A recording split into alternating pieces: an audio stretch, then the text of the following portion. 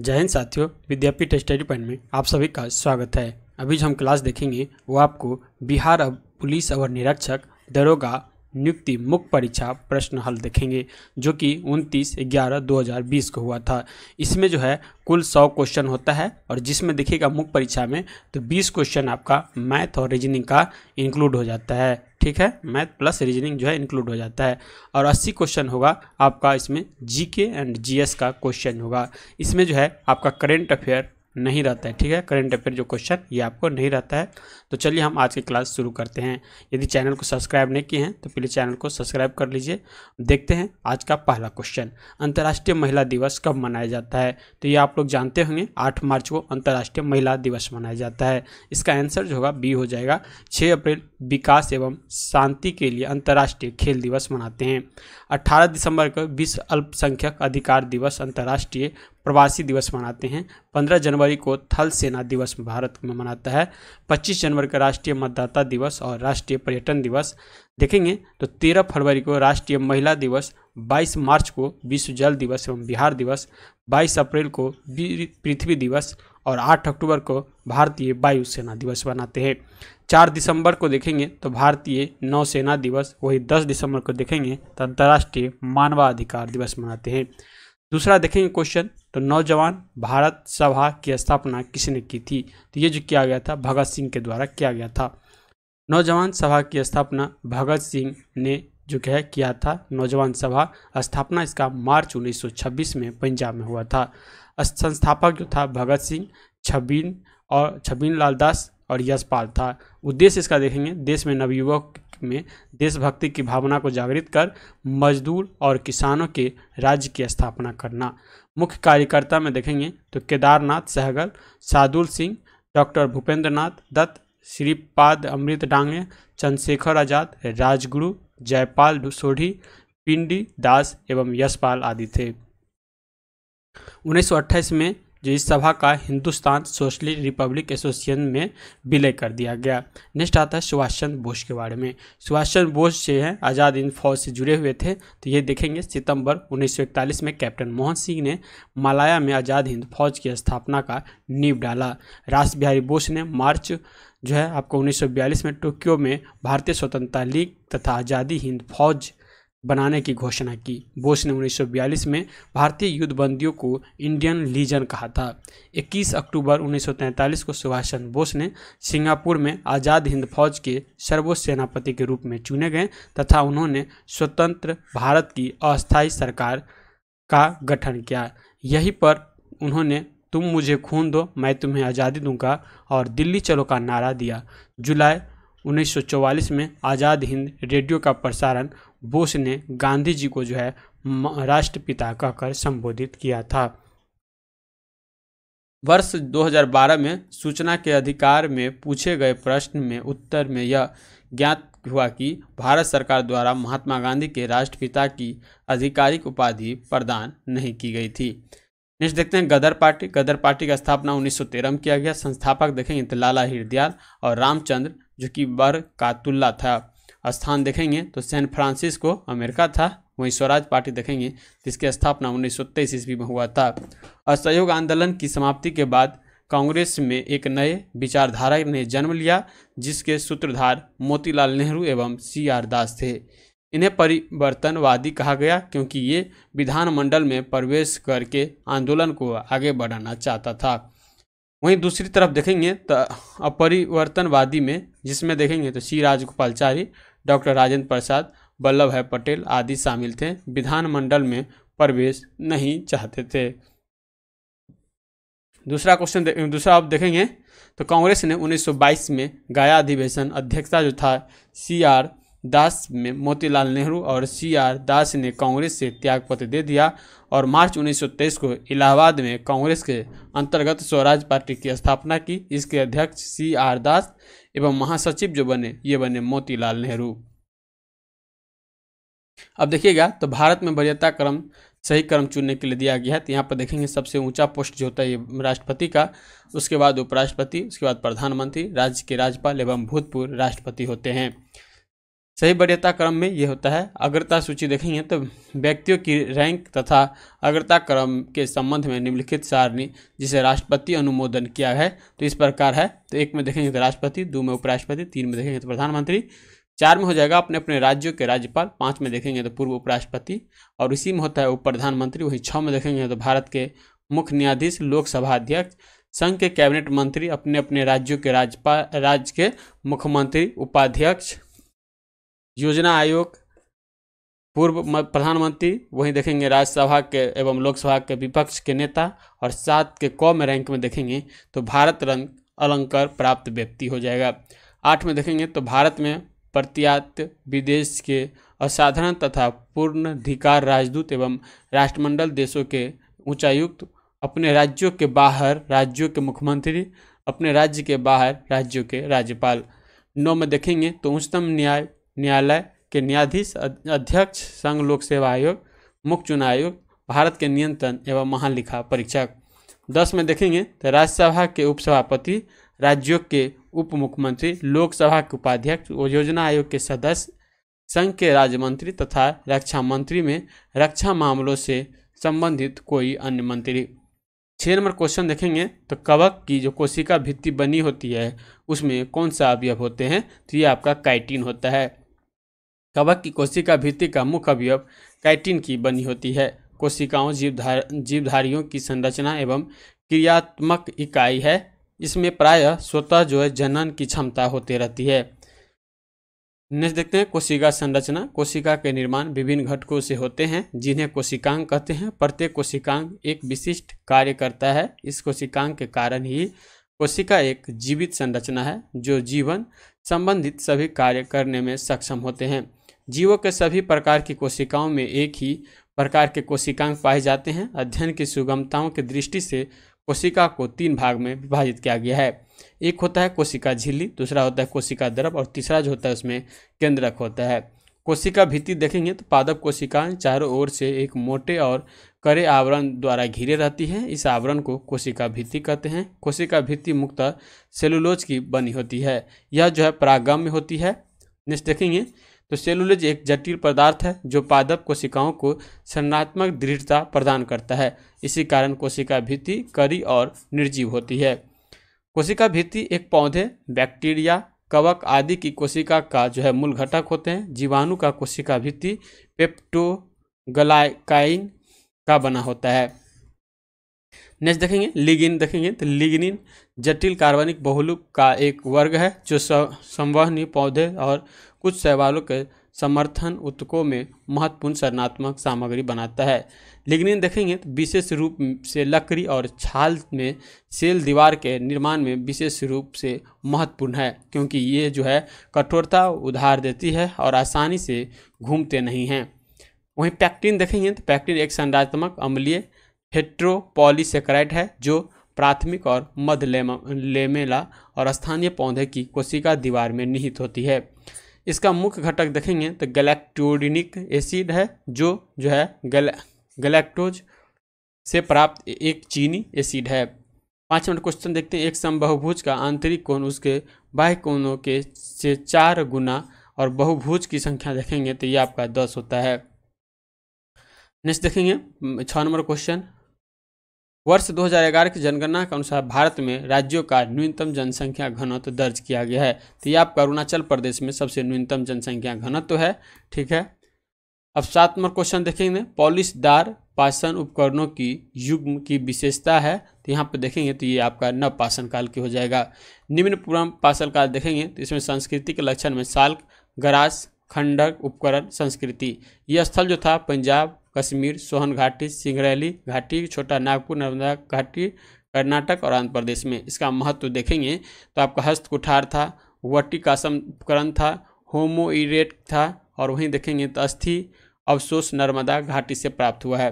मध्यपुरम पासल काल देखेंगे तो इसका जो संस्कृत था, वो था आपका फलक। वहीं देखेंगे तो नेवास महाराष्ट्र, डिडवाना राजस्थान भीम बेटका एमपी, बकूरा जो हो जाएगा और पुरुलिया, ये आपका वेस्ट बंगाल हो जाएगा। वहीं देखेंगे तो फलक, बेधनी, खुरुचनी, भीमबेटका से गुफा चित्रकारी, ये इसकी प्रमुख विशेषताएँ थी। उच्च पाषाण काल में देखेंगे तो अस्थि, खुरुचनी एवं दक्षिणी संस्कृति, वहीं बेलन घाटी, छोटा नागपुर पठार, मध्य भारत, मऊराज, महाराष्ट्र, कर्नाटक, आंध्र प्रदेश आदि क्षेत्रों से प्राप्त हुआ है। वहीं देखेंगे तो विशेषता में प्रारंभिक होमोसिस्टेस मानव का काल है, जो हारपून, फलक व हड्डी के उपकरण प्राप्त होते हैं।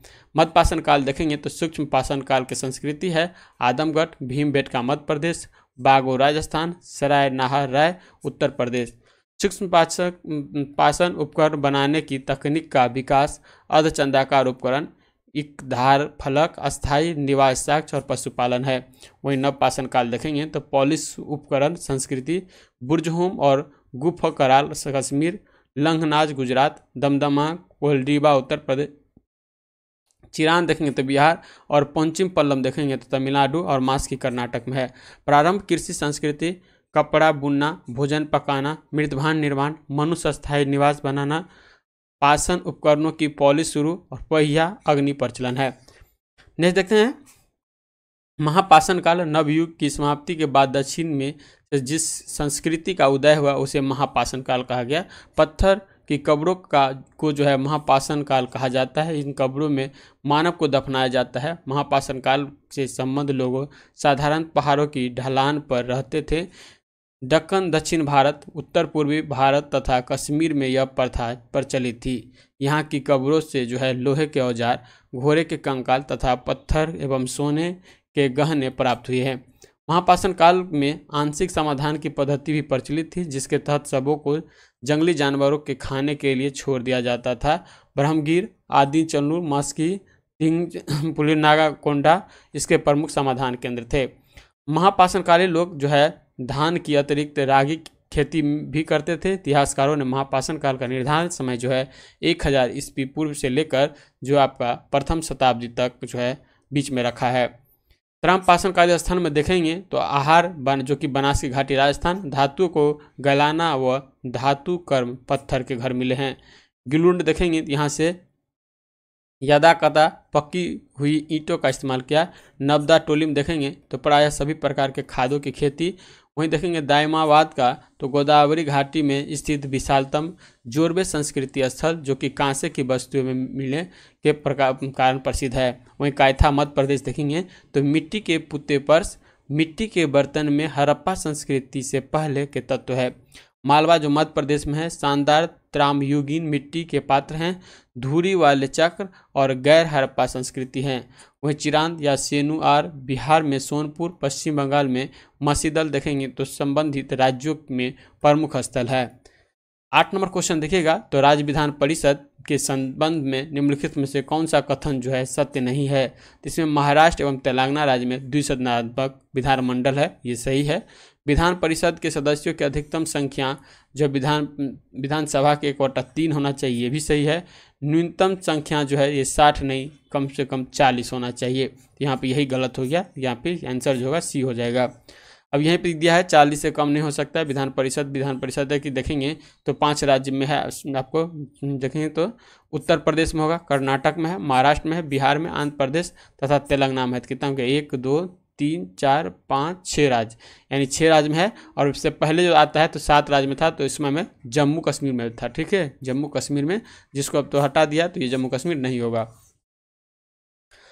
विधान परिषद के कुल सदस्यों की संख्या, उस राज्य की विधानसभाओं के कुल सदस्यों की संख्या की एक तिहाई से अधिक नहीं हो सकती है, किंतु किसी भी अवस्था में विधान परिषद के सदस्यों की संख्या चालीस से कम नहीं हो सकती है। विधान परिषद के सदस्य बनाने के लिए न्यूनतम आयु जो है तीस वर्ष है। विधान परिषद के प्रत्येक सदस्य का कार्यकाल छः वर्ष का होता है, किंतु प्रति दूसरे वर्ष एक तिहाई सदस्य का अवकाश ग्रहण कर लेते हैं। वह उनके स्थान पर नवीन सदस्य निर्वाचित होते हैं। यदि कोई व्यक्ति किसी सदस्य की मृत्यु या त्यागपत्र द्वारा हुई आकस्मिक अतिरिक्त भरने के लिए निर्वाचित है तो वह सदस्य शेष अवधि के लिए ही सदस्य रहता है या छः वर्ष नहीं रहता है। विधान परिषद के सदस्य का निर्वाचन अनुपातिक प्रतिनिधि की एकल संक्रमणीय मत पद्धति द्वारा होता है। विधान परिषदों के कुल सदस्यों की संख्या एक तिहाई सदस्य, जो है राज्य के स्थानीय स्वशासन संस्था के निर्वाचक मंडल द्वारा निर्वाचित होते हैं। वहीं एक बट्टा बारह सदस्य देखेंगे तो सदस्य उन स्नातक द्वारा निर्वाचित होते हैं, जिन्हें कम से कम तीन वर्ष पूर्व स्नातक की उपाधि प्राप्त कर ली हो। वहीं एक बट्टा बारह देखेंगे सदस्य तो उनका जो है अध्यापक द्वारा निर्वाचित होते हैं, जो कि कम से कम तीन वर्षों तक माध्यमिक पाठशाला अथवा उनके, उनसे ऊँची कक्षाओं में शिक्षण कार्य कर रहे हो। वहीं एक बट्टा छः देखेंगे तो सदस्यों का राज्यपाल उन व्यक्तियों में से मनोनीत करता है, जिन्हें जो है साहित्य, कला, विज्ञान, सहकारिता आंदोलन या सामाजिक सेवाओं के संबंध में विशेष ज्ञान हो। नेक्स्ट आता है, विधान परिषदों की किसी भी बैठक के लिए कम से कम दस या विधान परिषद के कुल सदस्यों की दस मांग, यानी एक बट्टा दस इनमें जो भी जो है आपका अधिक हो, ये गणपूर्ति होगा। विधान परिषदों अपने सदस्यों में से दो क्रम से सभापति और उपसभापति चुनते हैं। सभापति और उपसभापति को विधानमंडल द्वारा निर्धारित वेतन एवं भत्ते प्राप्त होते हैं। नेक्स्ट क्वेश्चन देखते हैं। शिवाजी के संबंध में निम्नलिखित घटनाओं का सही क्रम क्या है? तो इसमें देखेंगे। तो सबसे पहले जो हुआ था, ये आपका पुरंदर के दुर्ग पर विजय किया था, जो कि मराठा साम्राज्य के जो है संस्थापक शिवाजी शिवाजी का जन्म जो है छः अप्रैल सोलह को हुआ था। जो कि शिवनेर दुर्ग जुनार के समीक है तो यहाँ पे ये आंसर देखेंगे तो चार हो जाएगा पहले, फिर दो होगा, उसके बाद एक हो जाएगा राजाभिषेक, उसके बाद जो है कर्नाटक का आक्रमण हो जाएगा। शिवाजी के पिता का नाम देखेंगे तो शाहजी भोसले एवं माता का नाम देखेंगे तो जीजाबाई था शिवाजी। 1646 ईस्वी में पूना के पास स्थित तोरण का किला 1648 ईस्वी में पुरंदर के किला जीता था शिवाजी द्वारा सूरत अभियान। सोलह में किया गया शिवाजी के राज्याभिषेक सोलह ईस्वी में हुआ था। शिवाजी का अंतिम अभियान देखेंगे तो सोलह ईस्वी में गोलकुंडा की सहायता से कर्नाटक में किया गया। सोलह सौ छप्पन ईस्वी में जो है शिवाजी ने रायगढ़ को अपनी राजधानी बनाया। शिवाजी को राजा की उपाधि औरंगज़ेब ने दी थी। शिवाजी ने सूरत को जो है सोलह सौ ईस्वी एवं सोलह सौ सत्तर ईस्वी में लूटा था। पुरंदर की लड़ाई सोलह सौ पैंसठ ईस्वी में मुगल साम्राज्य और मराठा साम्राज्य के बीच में लड़ा गया था।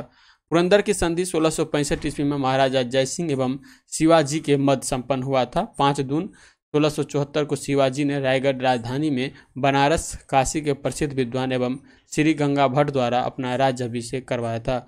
मूल रूप से गंगा भट्ट महाराष्ट्र का एक सम्मानित ब्राह्मण था जो लंबे समय से वाराणसी में रह रहा था। नेक्स्ट देखेंगे तो 1677 में गोलकुंडा के दो ब्राह्मण मंत्रियों, मदना एवं अन्ना की सहायता से शिवाजी ने अपना अंतिम अभियान कर्नाटक जीजी का किला में किया था। दस नंबर क्वेश्चन देखिएगा तो दस नंबर क्वेश्चन मैथ दिया है तो इसका आंसर जो देखेंगे, इसका आंसर दो सौ हो जाएगा। नेक्स्ट ग्यारह नंबर क्वेश्चन आता है, निम्नलिखित में से कौन सा प्रत्यक्ष लोकतंत्र का साधन नहीं है? तो यहाँ पर देखेंगे तो गेरी मेंडरिंग जो है, ये आपका प्रत्यक्ष साधन नहीं है। नेक्स्ट क्वेश्चन का डिस्कशन देख लेते हैं। तो देखेंगे डी नंबर। देखेंगे, गेरी मेडिंग जो है, लोकतंत्र का साधन नहीं है। गेरी मेडिन यह प्रत्यक्ष लोकतंत्र का साधन नहीं है। इसका उपयोग राजनीतिक दलों द्वारा चुनावी ज़िले के सीमा में हेरा फेरी करके किसी विशेष पार्टी या चुनावी समूह के अनुचित लाभ स्थापित करने के लिए किया जाता है। राजनीतिक दलों को जब यह एहसास होता है हो जाता है कि वे कुछ भी करे, समाज के कुछ वर्ग उन्हें कभी वोट नहीं देंगे, तब जो है गेरीमेंडरिंग पद्धति लागू कर निर्वाचन क्षेत्र का सीमा को बदलते हैं। हाल ही में अमेरिका की जनसंख्या 2020 की जनगणना के प्रमाण प्रस्तुत किए गए हैं। यहाँ लगभग हर दशक में अमेरिकी कांग्रेस और राज्यों के विधायी जिला में गेरी मेडरिन अनुसूचित लाभ के नियत से निर्वाचित क्षेत्र का निर्धारण की प्रक्रिया अपनाई जाती है। गेरी मेडिन शब्द की उत्पत्ति जो हेलब्रिज गेरी से हुई है, जिन्होंने 1812 में मैसाचुसेट्स के गवर्नर के रूप में एक बिल पर हस्ताक्षर किए, जिसे बोस्टन क्षेत्र में एक चुनावी जिला बनाया, जिसने सभी मतदाताओं को अपने लाभ के लिए एकत्रित किया था। उसके बाद देखेंगे जनमत संग्रह। जनमत संग्रह जो होता है, एक ऐसा प्रत्यक्ष मतदान है, जिसमें किसी क्षेत्र, विशेष सभी मतदाताओं के मतदान के द्वारा किसी एक विशेष प्रस्ताव को स्वीकार अथवा अस्वीकार करके के लिए कहा जाता है। जूनागढ़ को 20 फरवरी 1948 के जनमत संग्रह के द्वारा भारत में जो है मिलाया गया था। नेक्स्ट क्वेश्चन देखेंगे तो आपका यह है मैथ, रीजनिंग क्वेश्चन है इसको पढ़ेंगे। एक महिला की तरफ़ इशारा करते हुए विजय ने कहा, वहाँ मेरे ससुर की पत्नी की इकलौती पुत्री है। उस महिला का विजय से क्या रिश्ता था? तो ये आपका पत्नी का रिश्ता था। यहाँ पर डी आंसर हो जाएगा। नेक्स्ट देखेंगे। भारत में उत्तर पश्चिमी भाग में शीतकालीन वर्षा मुख्य रूप से निम्नलिखित कारण से होती है। तो ये जो होता है, पश्चिमी विक्षोभ से होता है। भारत पश्चिमी विक्षोभ के कारण लगभग तीन प्रतिशत वर्षा होती है। लौटती मानसून, उत्तर पूर्वक मानसून, सत्रह प्रतिशत तक वर्षा होती है। भारत में सबसे कम वर्षा लेह लद्दाख में होता है। उत्तर भारत में मैदानी भागों में शीत ऋतु में वर्षा, पश्चिमी विक्षोभ या जेट स्ट्रीम के कारण होती है। राजस्थान में इस वर्षा को मावट कहा जाता है। जाड़े के दिनों, जनवरी, फरवरी महीने में तमिलनाडु के तटों पर कोरोमंडल तट पर वर्षा लौटती हुई मानसून या उत्तर पूर्वी मानसून के कारण होती है। ग्रीष्म ऋतु के आज अब असम एवं पश्चिम बंगाल राज्यों में तीव्र आर्द्र हवाएँ चलने लगती है, जिससे गरज के साथ वर्षा होती है। इन हवाओं की पूर्वी भारत में जो है नॉर्वेस्टर बंगाल में देखेंगे तो काल बैसाखी के नाम से जाना जाता है। कर्नाटक में इसे चेरी ब्लॉस एवं कॉफ़ी वर्षा कहा जाता है, जो कॉफ़ी के लिए, कॉफ़ी की कृषि के लिए लाभदायक होती है। आम की फ़सल के लिए लाभदायक होने के कारण इसे दक्षिण भारत केरल में जो है आम्र वर्षा कहा जाता है। नेक्स्ट देखते हैं। गारो, खांसी एवं जयंतिया पहाड़ी पर बंगाल के खाड़ी से आने वाली हवाएँ दक्षिण पश्चिम मानसून की शाखा अधिक वर्षा लाती है, जिसके कारण यहाँ स्थित मासीन राम मेघालय में विश्व के सर्वाधिक वर्षा प्राप्त करने वाला स्थान है। लगभग जो है ग्यारह सौ इकतालीस सेमी वर्षा प्राप्त करती है। चौदह मैथ का क्वेश्चन है, इसका आंसर हो जाए साढ़े बाईस डिग्री। नेक्स्ट देखिएगा मैथ का ही क्वेश्चन है। यदि x एक चौथाई छः से पाँच अधिक है, तब x का मान क्या होगा? तो x का मान चौवालीस हो जाएगा। सोलह देखेंगे तो निम्नलिखित में से कौन सा पृथ्वी के घूर्णन के प्रभाव नहीं है? तो इसमें से देखेंगे तो पवन का विक्षोभ ये है, कोरोलिस बल की उत्पत्ति ये है, दिन रात का होना ये भी है, जबकि ऋतु परिवर्तन यहाँ नहीं होगा। ऋतु परिवर्तन, घूर्णन प्रभाव के कारण नहीं होता है। पृथ्वी की गतियाँ देखेंगे तो दो प्रकार की होती है। एक जो होती है घूर्णन गति और दूसरा जो होता है परिक्रमण गति होता है। घूर्णन गति देखेंगे तो पृथ्वी अपने अक्ष पे पश्चिम से पूर्व की ओर घूमता है, जिसे पृथ्वी के घूर्णन कहते हैं। एक परिभ्रमण करने में 24 घंटा लगता है। देखिए, एक चीज़ याद रखिएगा, घूर्णन और परिभ्रमण, सेम चीज़ होता है, ठीक है? तो इसमें कन्फ्यूज़न नहीं होना है आपको। घूर्णन और परिभ्रमण, ठीक है? परिक्रमण अलग होगा और परिभ्रमण अलग होगा। तो दिन रात देखेंगे, दिन रात का होना ग्लोब पर किसी स्थिति की निर्धारण, दैनिक ज्वार भाटा में समय का अंतर होना, ये सारा किसके कारण होगा? भ्रमण के या घूर्णन के कारण होगा। पृथ्वी अपने अक्ष तल से जो है, साढ़े छियासठ डिग्री का कोण बनाता है। अब आता है परिक्रमण परिक्रमण देखेंगे तो अपने अक्ष पर घूमने के साथ साथ पृथ्वी एक परिक्रमा या एक चक्कर लगाने में पृथ्वी द्वारा लिया गया समय जो होता है वो आपका वार्षिक गति या परिक्रमण काल होता है। एक चक्कर पूरा करने का समय देखेंगे तो तीन सौ पैंसठ दिन छः घंटा, अड़तालीस मिनट का लगता है। तेईस सितंबर एवं इक्कीस मार्च को पृथ्वी पर दिन और रात जो होता है ये आपका बराबर होता है। वार्षिक गति का प्रभाव देखेंगे तो सूर्य में, दिन में जो है सूर्य की ऊंचाई में अंतर, दिन व रात की लंबाई में अंतर ऋतु परिवर्तन का होना तो कर्क और मकर रेखा का निर्धारण 22 दिसंबर को सूर्य और मकर रेखा पर लंब चमकती है और 21 जून को कर्क रेखा पर। विश्वत रेखा पर दिन और रात की अवधि जो होता है यह आपका समान होता है। नेक्स्ट क्वेश्चन देखेंगे। आपातकाल की उद्घोषणा हो, तब निम्नलिखित में से कौन से मूल अधिकार को छोड़कर अन्य सभी मूल अधिकार के प्रवर्तक के लिए न्यायालय में जाने का अधिकार निलंबित रहता है तो यह आपका अनुच्छेद 20 और इक्कीस रहता है। आपातकाल की उद्घोषणा के दौरान अनुच्छेद 20 और अनुच्छेद इक्कीस को छोड़कर से सभी मौलिक अधिकार जो है निलंबित हो जाते हैं। राष्ट्रीय आपातकाल देखेंगे तो राष्ट्रीय आपात तीन सौ बावन में यह घोषणा किसी निम्नलिखित के आधार पर करती है राष्ट्रपति के द्वारा। तो पहला जो होता है, ये युद्ध के लिए, दूसरा होता है वायु आक्रमण और तीसरा होता है सशक्त विद्रोह के लिए। नेक्स्ट देखेंगे तो अनुच्छेद तीन सौ अंठावन और तीन सौ उनसठ राष्ट्रीय आपातकाल में मूल अधिकार का प्रभाव का वर्णन करते हैं। अनुच्छेद तीन सौ अंठावन, अनुच्छेद उन्नीस द्वारा दिए गए मूल अधिकारों के निलंबन से संबंधित है, जबकि अनुच्छेद तीन सौ उनसठ अन्य मूल अधिकारों के निलंबन और अनुच्छेद बीस एवं इक्कीस द्वारा प्रदत्त अधिकारों को छोड़कर से संबंधित है। नेक्स्ट देखेंगे, अनुच्छेद तीन सौ अंठावन के अनुसार जब राष्ट्रपति राष्ट्रीय आपात की उद्घोषणा की जाती है, तब अनुच्छेद उन्नीस द्वारा प्रदत्त छह मूल अधिकार स्वतः ही निलंबित हो जाती है। दूसरे शब्दों में राज्य अनुच्छेद उन्नीस द्वारा प्रदत्त छह मूल अधिकारों को कम करने अथवा हटाने के लिए कानून बना सकता है, अथवा कोई कार्यकारी निर्णय ले सकता है। ऐसे किसी कानून अथवा कार्य को इस आधार पर यह, कि यह अनुच्छेद उन्नीस द्वारा प्रदत्त छह मूल अधिकारों का उल्लंघन है। 1978 के चौवालीसवें संविधान संशोधन के अनुच्छेद तीन की संभावना पर दो प्रकार के प्रतिबद्ध लगा दिया गया है।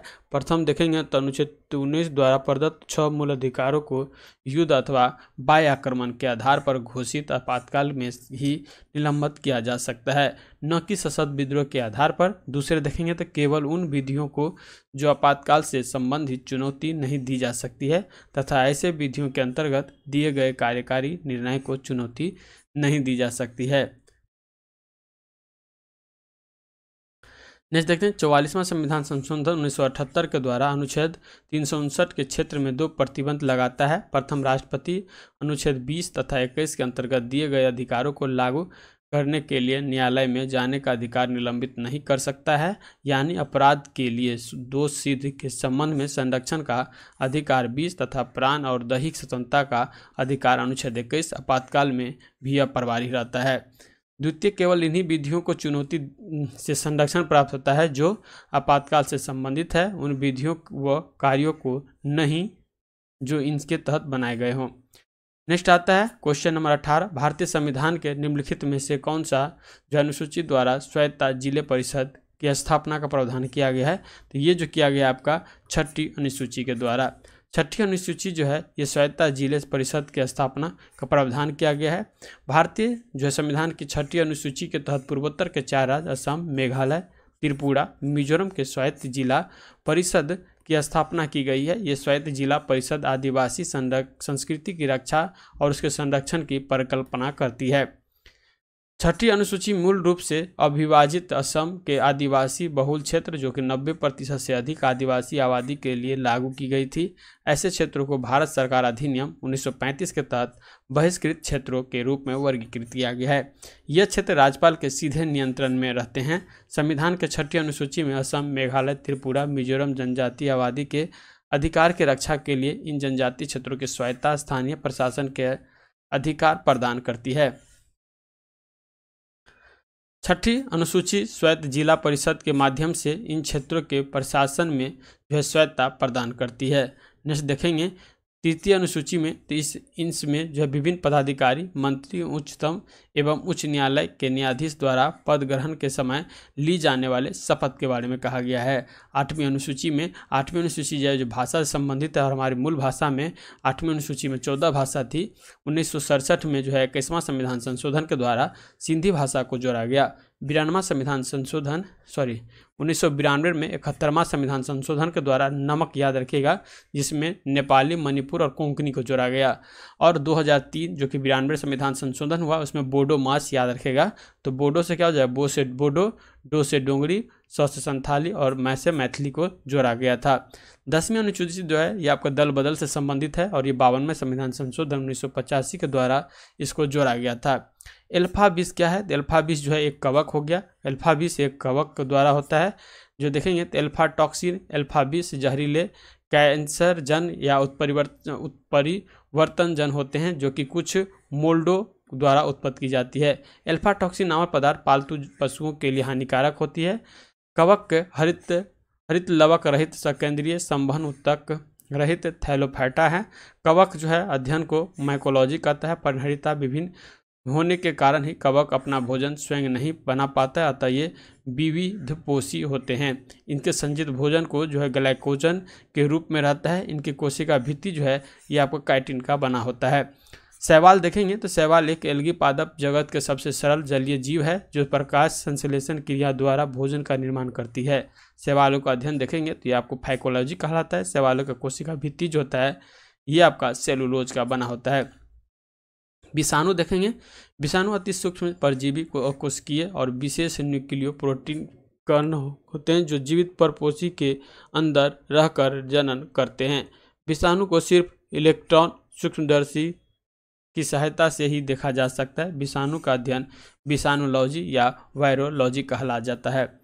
जीवाणु देखेंगे तो जीवाणु हरित लहित एक कोशिकीय, बहुकोशिकीय और प्रोकैरियोटिक सूक्ष्म जीव होते हैं। जीवाणु वास्तव में पौधे नहीं होते हैं। राज्यसभा के सदस्यों के चुनाव की प्रक्रिया ये आपका दक्षिण अफ्रीका के संविधान से लिया गया है। भारत के संविधान में विदेशी स्रोत में देखेंगे तो दक्षिण अफ्रीका से संविधान संशोधन की प्रक्रिया का प्रावधान, राज्यसभा के सदस्यों का निर्वाचन, जापान से विधि द्वारा स्थापित प्रक्रिया, संयुक्त राज्य अमेरिका से देखेंगे प्रस्तावना, मौलिक अधिकार, न्याय पूर्वावलोकन, संविधान की सर्वोच्चता, न्यायिक की स्वतंत्रता, निर्वाचन, राष्ट्रपति एवं इस पर महाभियोग, उपराष्ट्रपति, उच्चतम एवं उच्च न्यायालय के न्यायाधीश को हटाने की विधि एवं वित्तीय आपात, आयरलैंड से देखेंगे तो नीति निर्देशक सिद्धांत राष्ट्रपति के निर्वाचन मंडल की व्यवस्था राष्ट्रपति द्वारा राज्यसभा में साहित्य कला, विज्ञान व समाज सेवी इत्यादि के क्षेत्र में ख्याति प्राप्त व्यक्तियों का मनोनयन होगा। पिनियन युद्ध देखेंगे तो यह आपका रोम और कैथरेज के बीच में हुआ था, ठीक है? नेक्स्ट देखिएगा अनुवांशिक विकार, जिसमें केंद्रक में जो है सैंतालीस क्रोमोसोन हो जाते हैं, वो होता है Klinefelter syndrome. Klinefelter syndrome के केंद्रक में सैंतालीस क्रोमोसोन हो जाता है। क्लाइन फेंडोन सिंड्रोम देखेंगे तो यह एक अनुवांशिक स्थिति है, जिसमें पुरुषों के एक अतिरिक्त एक्स गुणसूत्र के साथ पैदा होते हैं। क्लाइटोफेंड्रंस सिंड्रोम पुरुषों में दो या अधिक एक्स गुणसूत्र के कारण है। प्रायः एक्स एक्स वाई होते हैं। इसमें एक अतिरिक्त एक्स गुणसूत्र की उपस्थिति के कारण बीरसन होते हैं, पर उसमें शुक्राणु नहीं बनते हैं। इसे जो है पुरुष नपुंसक कहा जाता है। क्लाइरोफेंड्रोन सिंड्रोम एक पीढ़ी से दूसरे पीढ़ी में जाने वाला रोग नहीं है, बल्कि गर्भाधान के बाद अचानक हुई अवांशिक गड़बड़ी के वजह से होता है। इसमें जैगोट के गुणसूत्रों की संख्या समान, अधिक सैंतालीस हो जाती है। ऐसे जैगोट से उत्पन्न पुरुषों, स्त्रियों के नियोचित एवं स्तन स्त्रियों के समान विकसित हो जाते हैं। ऐसे पुरुष होते हैं, वो नपुंसक होते हैं। इसके बाद देखिएगा क्लाइफेंड्रोन सिंड्रोम के उपचार के लिए देखेंगे। इसके उपचार में जो होता है क्लाइडोफेंड्रोन सिंड्रोम के लिए विभिन्न प्रकार के उपचार उपबंध हैं। रोगियों के लक्षणों एवं लक्षणों के आधार पर उपचार विभिन्न हैं। प्रजनन उपचार, मनोवैज्ञानिक परामर्श, अतिरिक्त स्तन उत्तन, उत्तक को हटाना और हार्मोनल रिप्लेसमेंट थेरेपी और पांचवा जो है, समर्थन और शैक्षणिक मूल्यांकन। उसके बाद आता है डाउन सिंड्रोम। डाउन सिंड्रोम के अनुवांशिक विकार है, जो असमान कोशिकाओं विभाजन के कारण गुणसूत्र इक्कीस से अतिरिक्त अनुवांशिक सामग्री की वजह से, वज़न से होता है। इसे जो है मंगोलीजरता भी कहते हैं। डाउन सिंड्रोम वाले चेहरे की स्पष्ट पहचान होती है, इसके कारण बुद्धि कमज़ोर होती है, विकास देरी से होती है और इनके साथ ही थायराइड और दिल का रोग भी हो सकता है। उसके बाद जो आता है टर्नर सिंड्रोम। गुणसूत्र या क्रोमोसोम संबंधी समस्या, जिसमें महिला केवल एक एक्स गुणसूत्र के साथ पैदा होती है। लक्षणों में ऊंचाई कम होना यौवनारंभ में देरी, पांचपन, हृदय विकार और कुछ प्रकार के सीखने के विकार शामिल होते हैं। उसके बाद आता है थैलीसीमिया। थैलीसीमिया बच्चों को माता पिता से अनुवांशिक तौर पर मिलने वाला रक्त रोग है। इस रोग के होने पर शरीर के हीमोग्लोबिन निर्माण प्रक्रिया में गड़बड़ी हो जाती है, जिसके कारण रक्त छीनता के लक्षण प्रकट होते हैं। इसकी पहचान तीन माह की आयु के बाद होती है। नेक्स्ट क्वेश्चन देखेंगे, निम्नलिखित में से कौन सा मुख्यमंत्री के विषय में सही नहीं है? तो मुख्यमंत्री विषय में देखेंगे अंतर्राज्यीय परिषद का सदस्य होते हैं। आपातकाल के दौरान राजनीति स्तर पर वह मुख्य प्रबंधन होते हैं।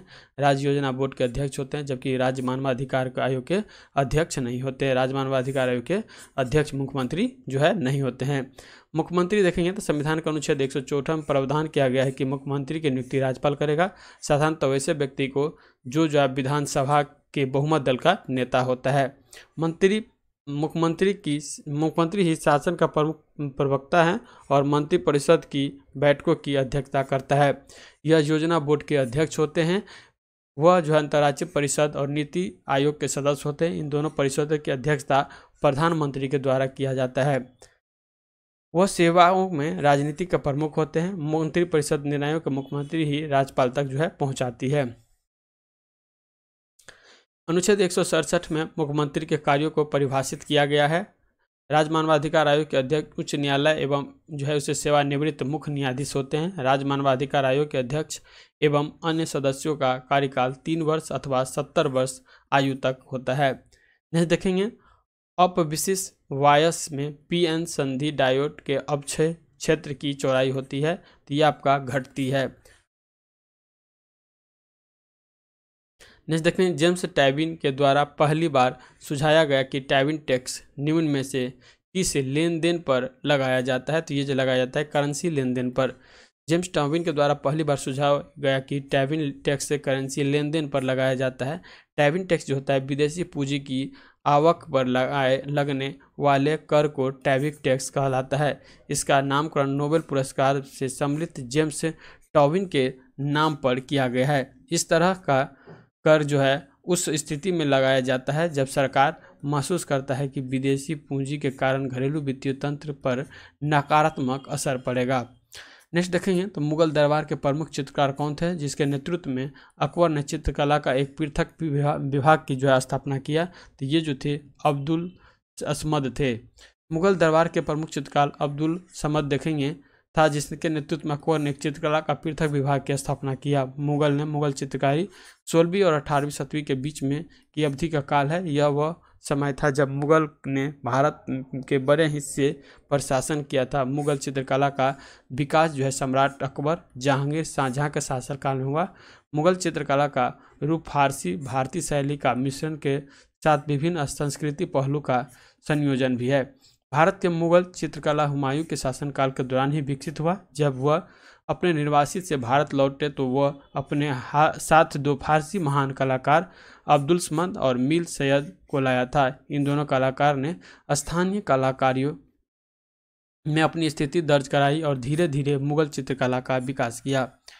अकबर के समय में प्रमुख चित्रकारी में मीर सैयद अली, दसवंत बसावन ख्वाजा अब्दुल समद, मुकुंद आदि थे। आइन अकबरी में कुल सत्रह चित्रकारों का उल्लेख है, जिसमें तेरह जो थे, हिंदू थे। अब्दुल समद और मीर सैयद अली को मुगल चित्रशैली का संस्थापक माना जाता है।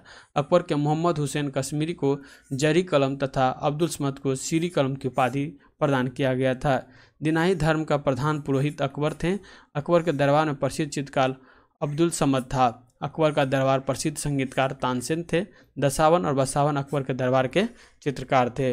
अकबर के शासनकाल के प्रमुख गायन जो थे वो आपको तानसेन था बाज बहादुर बाबा रामदास एवं बैजू बाबर थे। अकबर की शासन प्रणाली की प्रमुख विशेषता मनसबदारी प्रथा थी अकबर के समकालीन प्रसिद्ध सूफी संत जो थे, शेख सलीम चिश्ती थे। मैथ के क्वेश्चन देखेंगे तो इसमें यह यह नौ सौ इसका आंसर हो जाएगा। कृषि काटो और जलाओ का प्रतिरूप भारत के किस प्रदेश में प्रचलित था? तो ये जो प्रतीक था उत्तर पूर्व में।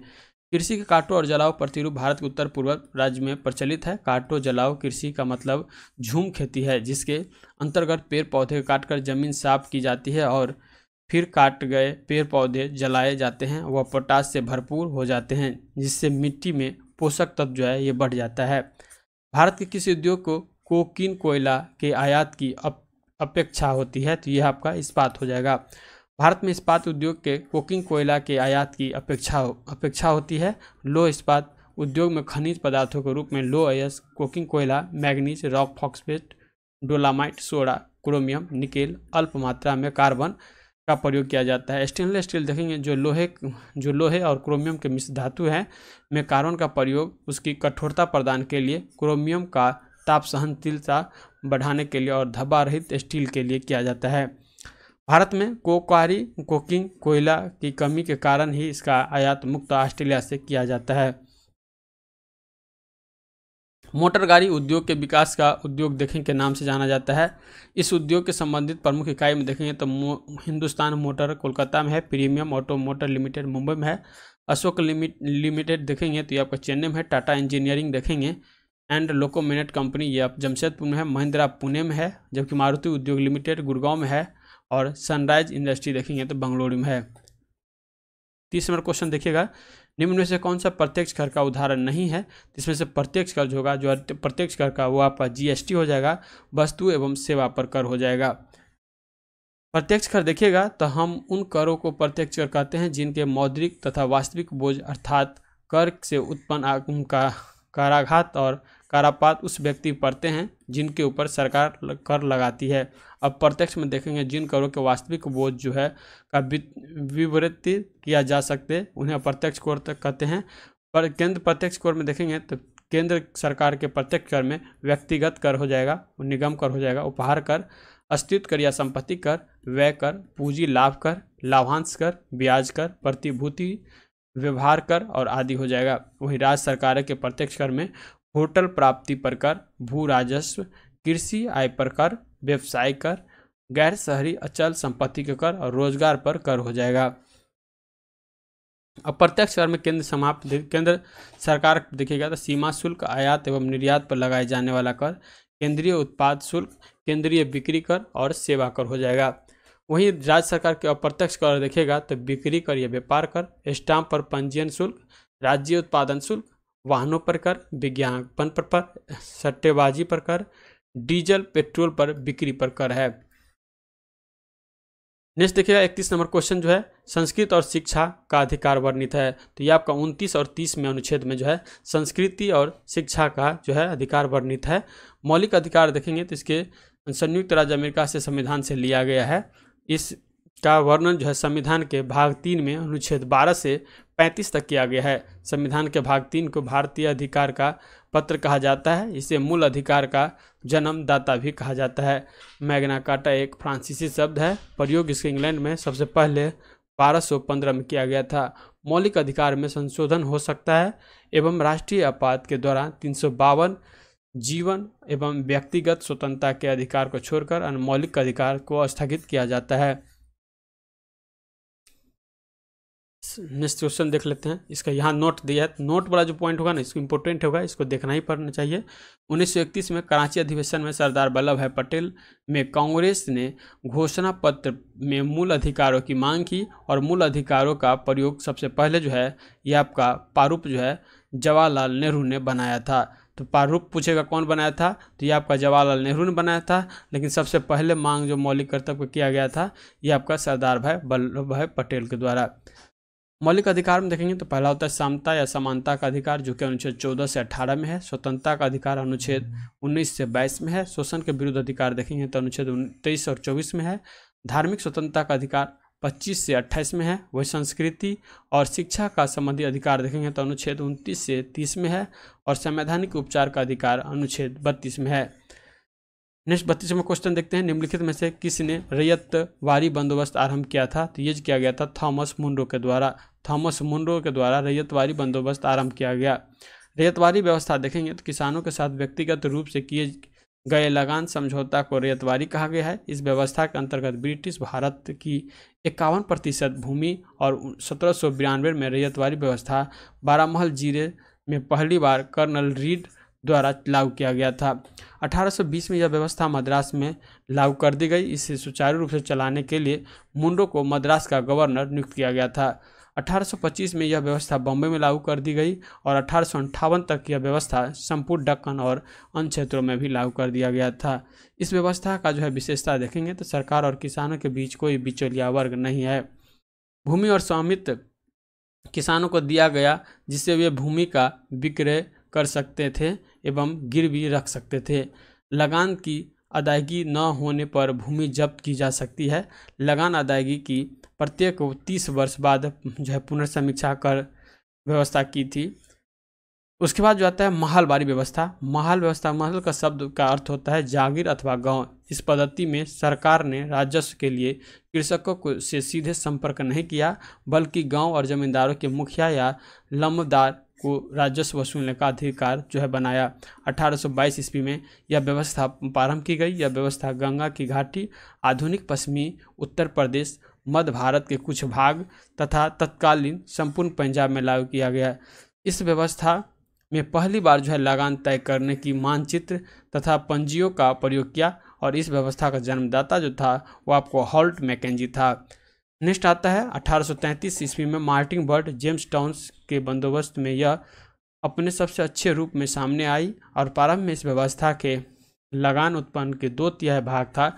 बाद में इसे घटाकर जो है उत्पादन का एक बट्टा दो भाग यानी पचास प्रतिशत कर दिया। अब भू राजस्व की संग्रह का विधियाँ देखेंगे तो पहला आता है जमींदारी, उसके बाद रियतवारी, उसके बाद महलवारी। जमींदारी में देखेंगे तो क्षेत्रफल उन्नीस प्रतिशत पर था, पक्ष इसका जमींदारी था और योजनाकार जो था, लॉर्ड कनवालिस एवं जॉन सोर मुंडो के द्वारा। उसके बाद रियतबारी व्यवस्था देखेंगे तो ये आपके सबसे ज़्यादा भूमि पर, यानी इक्यावन प्रतिशत भूमि पर था और इसका जो पक्ष था, ये किसान था और लागू किया गया था रीड और टॉमस मुंडो के द्वारा। मालवारी व्यवस्था देखेंगे तो तीस प्रतिशत भूभाग पर यह लागू किया गया था और इसमें मुखिया या लवनदार जो था, ये इसका जो था, आपका पक्षधर था और होल्ट मैकेंजी के द्वारा ये इम्प्लीमेंट या लागू किया गया था।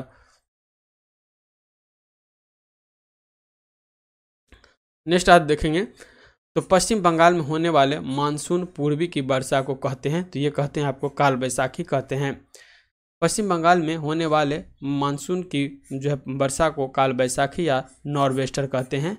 मौसम की दशा देखेंगे तो भारत में मौसम विभाग ने वर्ष को चार ऋतुओं में बांटा है, शीत ऋतु, जो कि मध्य दिसंबर से मध्य मार्च तक होता है, उष्ण शुक्ल उष्ण शुल्क देखेंगे तो ग्रीष्म ऋतु होता है, ये मध्य मार्च से मई तक होता है, आर्द्र वर्ष या ऋतु जून से सितंबर तक होता है, लौटते हुए मानसून की ऋतु देखेंगे तो अक्टूबर से मध्य दिसंबर तक होता है। ग्रीष्म ऋतु के समय देश के विभिन्न भागों में स्थानीय पवनें बहती है लू देखेंगे तो उत्तर भारत के मैदानी इलाकों में गर्म एवं शुष्क हवा को लू कहते हैं। नॉर्वेस्टर जो है काल बैसाखी पश्चिम बंगाल एवं असम में गरज के साथ होने वाली वर्षा है। वहीं देखेंगे मैंगो सामर जो कि आम वर्षा है। दक्षिण भारत, केरल में पूर्वी मानसून वर्षा, जिसमें आम जल्दी पक जाते हैं। चेरी ब्लॉसम देखेंगे तो कर्नाटक में वर्षा, जो कि काफ़ी के खेती के लिए काफ़ी लाभदायक होता है। वहीं नेक्स्ट देखेंगे, चाय वर्षा। चाय वर्षा असम तथा पश्चिम बंगाल में होती है। इस प्रकार की वर्षा चाय की खेती के लिए जो है काफ़ी लाभदायक होते हैं। इसमें देखिएगा, पजल दिया हुआ इसमें अज्ञात वर्ड ढूँढने के लिए दिया है तो इसका आंसर जो हो जाएगा, नौ हो जाएगा। भारत के राष्ट्रपति को चुनाव में हुए विवादित का निर्णय कौन लेता है? तो ये आपका सर्वोच्च न्यायालय लेते हैं। भारत के राष्ट्रपति चुनाव के विवादित का निर्णय जो है सर्वोच्च न्यायालय करते हैं। राष्ट्रपति के निर्वाचन के लिए निर्वाचन मंडल अनुच्छेद चौवन, इसमें राज्यसभा, लोकसभा और राज्य के विधानसभाओं के निर्वाचित सदस्य रहते हैं। नवीनतम व्यवस्थाओं के अनुसार पुदुचेरी विधानसभा तथा दिल्ली के विधानसभा के निर्वाचित सदस्यों को भी शामिल किया गया है, जो कि सत्तरवां संविधान संशोधन उन्नीस के द्वारा दिल्ली और पुदुचेरी के संविधान को शामिल किया गया है, विधान सभा को। नेक्स्ट आता है, राष्ट्रपति पद के उम्मीदवार के लिए निर्वाचन मंडल के 50 सदस्य प्रस्तावक और 50 सदस्य जो है यह आपको अनुमोदक होना चाहिए। एक ही व्यक्ति जितनी बार चाहे राष्ट्रपति पद पर निर्वाचित हो सकते हैं। राष्ट्रपति के निर्वाचन समुदाय समूह समान, समानुपातिक प्रतिनिधि प्रणाली और एकल संक्रमणीय मत पद्धति के द्वारा अनुच्छेद पचपन में पचपन के तहत होता है। अनुच्छेद इकहत्तर में राष्ट्रपति और उपराष्ट्रपति चुनाव से संबंधित विवादों के फैसला सर्वोच्च न्यायालय करेगा। राष्ट्रपति निर्वाचन से संबंधित विवादों का निपटारा उच्चतम न्यायालय द्वारा किया जाता है। निर्वाचन अवैध घोषित होने पर उसके द्वारा किए गए कार्य अवैध नहीं होते हैं। नेक्स्ट क्वेश्चन देखेंगे। नोट दिया है। अनुच्छेद सतहत्तर एक के अनुसार भारत सरकार की समस्त कार्यपालिका कार्यवाही कार्रवाई राष्ट्रपति के नाम से की की हुई जो है, कही जाएगी और अनुच्छेद सतहत्तर के तीन के अनुसार राष्ट्रपति भारत सरकार का कार्य अधिक सुविधापूर्ण किए जाने के लिए और मंत्रियों में उक्त कार्य का आवंटन के लिए नियम बनाएगा। भारत की संसद राष्ट्रपति राज्यसभा लोकसभा से मिलकर बनती है नासिम कहा गया है। राज्यसभा और उच्च सदन लोकसभा निम्न सदन होते हैं। वहीं देखेंगे तो राज्यसभा के सदस्यों की अधिकतम से अधिक से अधिक संख्या अढ़ाई सौ हो सकती है, जबकि राज्यसभा की संरचना अनुच्छेद अस्सी में कहा गया है। राज्यसभा के सदस्यों की न्यूनतम उम्र सीमा तीस वर्ष है। वर्तमान समय में यह जो आपका दो सौ पैंतालीस है, इनमें बारह सदस्य जो है राष्ट्रपति द्वारा मनोनीत किया जाता है। शेष जो है आपका दो सौ तैंतीस सदस्य संघ और इकाइयों के प्रतिनिधि करते हैं। यहाँ निर्वाचन आयोग के बारे में देख लेते हैं। संविधान के भाग पंद्रह के अनुच्छेद 324 से तीन सौ उनतीस में निर्वाचन से संबंधित उपबंध दिया गया है। भारत निर्वाचन आयोग की स्थापना 25 जनवरी 1950 को हुई है। यह एक जो है अस्थायी संवैधानिक निकाय है। छत्तीस नंबर देखते हैं। भोपाल गैस दुर्घटनाओं में विषाक्त गैस के रिसाव हुआ था तो उसमें कौन सा गैस निकला था? तो मिथाइल आइसोसाइनेट निकला था। भोपाल गैस दुर्घटना के विषाक्त गैस में मिथाइल आइसोसाइनेट जो कि C two H three N था, भोपाल गैस दुर्घटना जो है, तीन दिसंबर उन्नीस सौ चौरासी को घटित तो भोपाल के त्रासदी भारत के इतिहास में कला अध्याय है, जिसे शायद ही कभी भुलाया जा सकता है। भोपाल स्थित यूनियन कार्बाइड प्लांट में तीन दिसंबर को आधी रात में मिथाइल आइसोसाइनाइड के रिसाव के कारण हज़ारों की तादाद में लोगों की मृत्यु हो गई थी।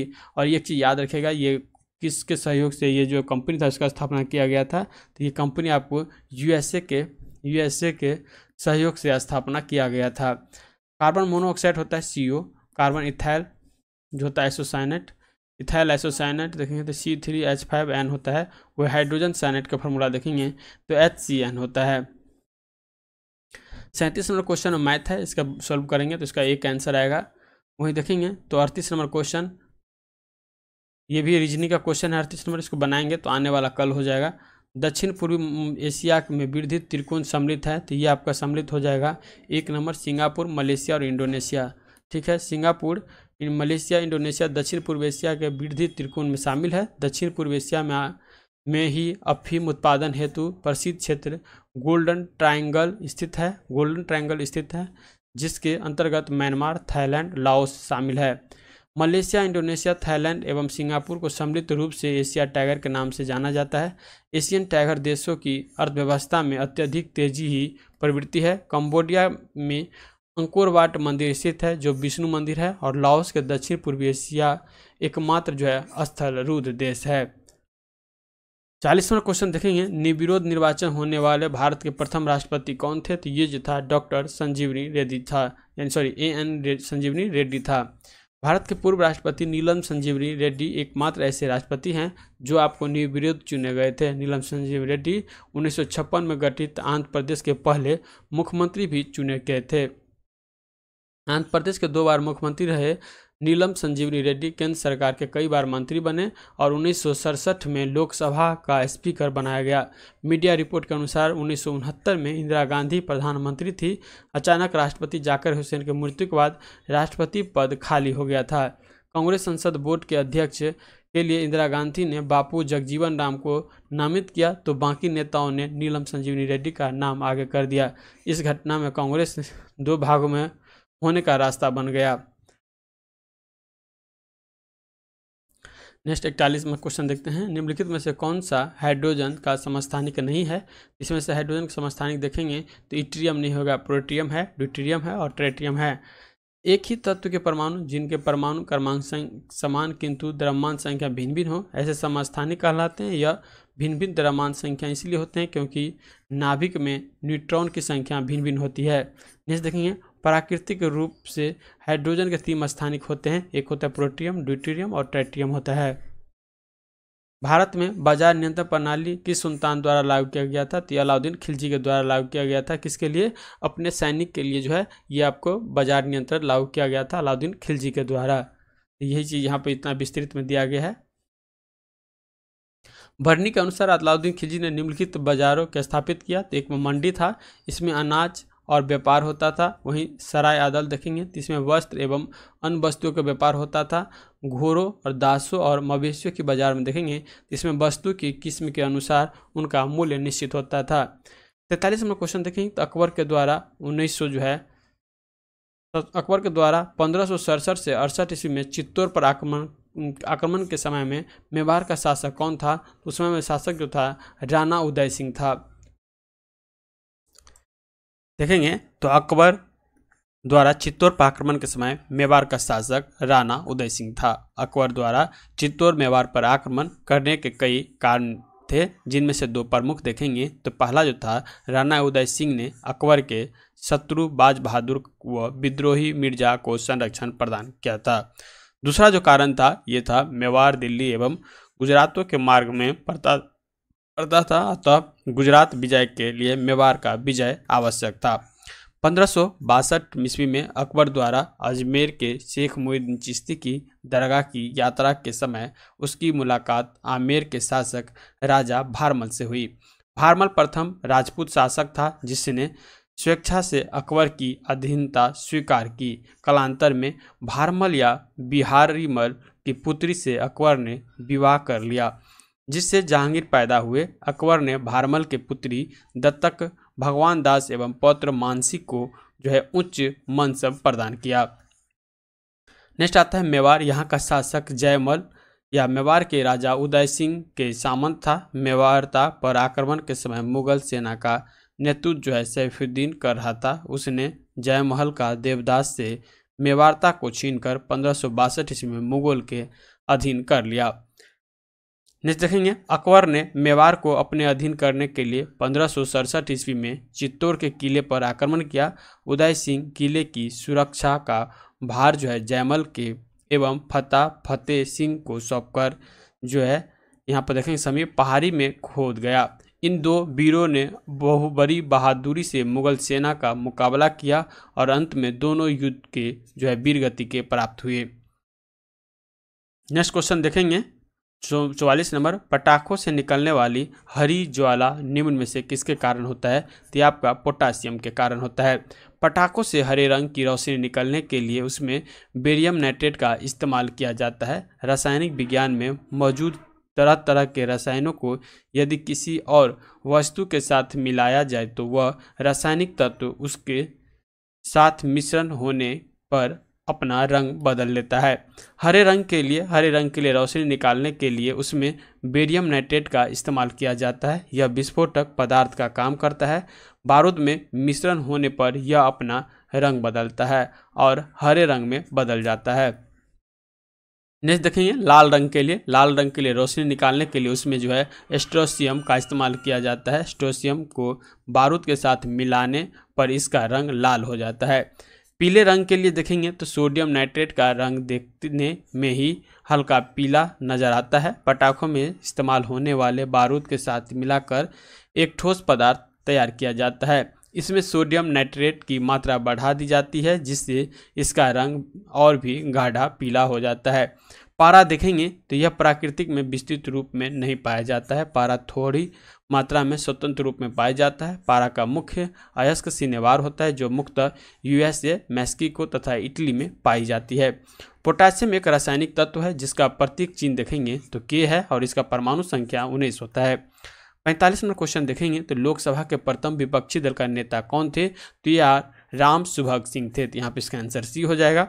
लोकसभा 1969 तक विपक्ष के एक अधिकारित नेता को मान्यता नहीं थी। दिसंबर उन्नीस सौ उनहत्तर में देखेंगे तो कांग्रेस पार्टी को संसद के मुख्य विपक्षी दल का रूप में मान्यता दी गई, जबकि इसके नेता जो हुए, राम सुभग सिंह विपक्षी नेता की भूमिका निभाते थे। नेक्स्ट देखेंगे तो लोकसभा ने, लोकसभा में विपक्ष के नेता, लोकसभा के एक निर्वाचित सदस्य है, जो भारत की संसद के निचले सदन में आधिकारिक विपक्ष का नेतृत्व करते हैं।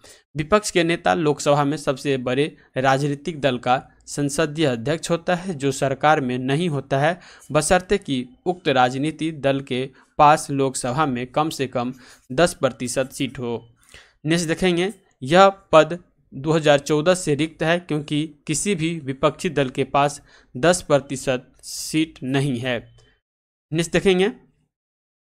यशवंत चौहान मुंबई राज्य के विभाजक, विभाजन के बाद महाराष्ट्र के पहले मुख्यमंत्री और भारत के पाँचवें उप प्रधानमंत्री बने थे। मोरारजी देसाई को भारत के चौथे प्रधानमंत्री के रूप में जाना जाता है। मोरारजी देसाई मार्च 1977 में देश के प्रथम प्रधान सॉरी प्रधानमंत्री बने, लेकिन प्रधानमंत्री के रूप में इसका कार्यकाल पूर्ण नहीं हो पाया और चौधरी चरण सिंह से मतभेद के चलते उन्हें प्रधानमंत्री का पद छोड़ना पड़ा था। छियालीसवां क्वेश्चन देखेंगे तो ग्लूकोज को एक अणु को एंजाइम उत्प्रेरित श्रृंखला की अभिक्रिया द्वारा पायरुबिक अम्ल के दोनों अणुओं में टूट जाता है। इस प्रक्रिया को जो है, ग्लाइकोलाइसिस कहते हैं। ग्लाइकोलाइसिस होता है, प्रक्रिया में जो है ग्लूकोज आंशिक ऑक्सीजन से गुजरता है, जो पारुबिक अम्ल के दो अणु बनाता है। नेक्स्ट देखेंगे, ग्लाइकोलाइसिस शब्द की उत्पत्ति ग्रीक शब्द से हुई है। सकड़ा के लिए ग्लाइकोलाइसिस और विखंडन के लिए लिसिसी है। ग्लाइकोलाइसिस कोशिका कोशिका दर्भ में होता है और सभी जीवित जीवों में मौजूद होता है। ग्लाइकोलाइसिस से निर्मित होने वाले दो अणु पार्विक अम्ल, कोशिका द्रव से कोशिका में माइटोकॉन्ड्रिया में प्रवेश करने पर शोषण का द्वितीय चरण प्रारंभ होता है। शोषण के इस दूसरे चरण के अंतर्गत पारुविक अम्ल के माइटोकॉन्ड्रिया के आधारी भाग में प्रवेश करने पर प्रत्येक पारुविक अम्ल के एक अणु का एक परमाणु ऑक्सीकृत होकर कार्बन डाइऑक्साइड का निर्माण करता है तथा यह क्रिया ऑक्सीडेटिव या डिडॉक्सीलेशन के नाम से भी जाना जाता है। क्रेस चक्र के अंतर्गत प्रथम अस्थायी उत्पादन सेट्रिक अम्ल होता है, जिसके फलस्वरूप इसमें सेट्रिक अम्ल चक्र के नाम से भी जाना जाता है। इसकी खोज जो किया था, वो किया था एच के क्रेप्स के द्वारा किया गया था। गारो, खांसी और जयंतिया पहाड़ी जो है, ये खास करके मेघालय में है। गारो, खांसी, जयंतिया पहाड़ी मेघालय में स्थित है। इसका निर्माण मालवा पठार के समयुग में हुआ है। पहाड़ियों के नाम विशेष रूप से उस क्षेत्र में पाए जाने वाले जनजाति के नाम पर रखा गया है। मेघालय को पूरब का स्कॉटलैंड कहा जाता है। गारो देखेंगे, यह मूल रूप से दक्षिण गारो हिल्स ज़िले में पाई जाती है। वे मूल रूप से तिब्बत, बर्मा गारो के बोडो परिवार के और असम, बांग्लादेश के मैदानी इलाका इलाका में भी रहते हैं। खांसी देखेंगे तो ये उत्तर पूर्वी क्षेत्र के सबसे बड़ी आदिवासी समूह है और विश्व का सर्वाधिक वर्षा इसी पहाड़ी पर होती है जहाँ पे मानसी मानसी राम है। जयंती पहाड़ी देखेंगे तो जयंती पहाड़ी खांसी की तरह प्रोटोस्टेलाइट मोन खरमेर जाति के हैं। यहाँ पे डेविस कप देखेंगे तो डेविस कप से संबंधित है, ये आपका टेनिस खेल से संबंधित है। इस खेल की उत्पत्ति मिस्र और मध्य पूर्व में हुई है। इसका नाम टेनिस मिस्र के एक शहर, जिसका अरबी में टीनिस से कहा जाता है, के नाम पर रखा गया है। विमल्डन टेनिस टूर्नामेंट की शुरुआत 1961 में हुआ। पुरुष विजेता रॉबर्ट लीडर और महिला विजेता जो है अंजेला मार्केट थी। कप एवं ट्रॉफियाँ देखेंगे तो Davis cup Wimbledon open championship, federation cup, grand slam cup, Hopman cup, Australian open championship French open championship America open championship Volvo ten Volvo जो है, ये आपका टेनिस कप इत्यादि से संबंधित है। बैडमिंटन से देखेंगे तो इस खेल की उत्पत्ति दो खेलों, पूना और वेटलडोर में हुई है। यह खेल भारत में बहुत लोकप्रिय हुआ और इसके प्रथम नियम जो है 1877 में जो है, कराची में बनाया गया था। इंग्लैंड का बैडमिंटन एसोसिएशन तिरानवे में बना, जो कराची में बने नियम पर आधारित है। उन्नीस सौ चौंतीस में अंतर्राष्ट्रीय बैडमिंटन फेडरेशन की स्थापना हुआ। प्रथम, प्रमुख ट्रॉफी इसका देखेंगे तो Chadha cup Konica cup, Narang cup, Thomas cup, Uber cup और रहमतुल्ला कप आदि हैं। टेबल टेनिस देखेंगे तो इसको पिग पोग भी कहा जाता है। इस खेल की उत्पत्ति ब्रिटेन, यूएसए, भारत, दक्षिण अफ्रीका को माना जाता है। उन्नीस सौ इक्कीस में पिकपॉक एसोसिएशन बना, जिसका नाम बदलकर 1926 में टेबल टेनिस एसोसिएशन रखा गया। तीरदाजी शब्दावली जो है, क्रिस्टल शूटिंग लाइन आचार्य से है। उनचालीस, उनचास में क्वेश्चन देखेंगे तो निम्नलिखित में से कौन सा युग सुमेलित नहीं है?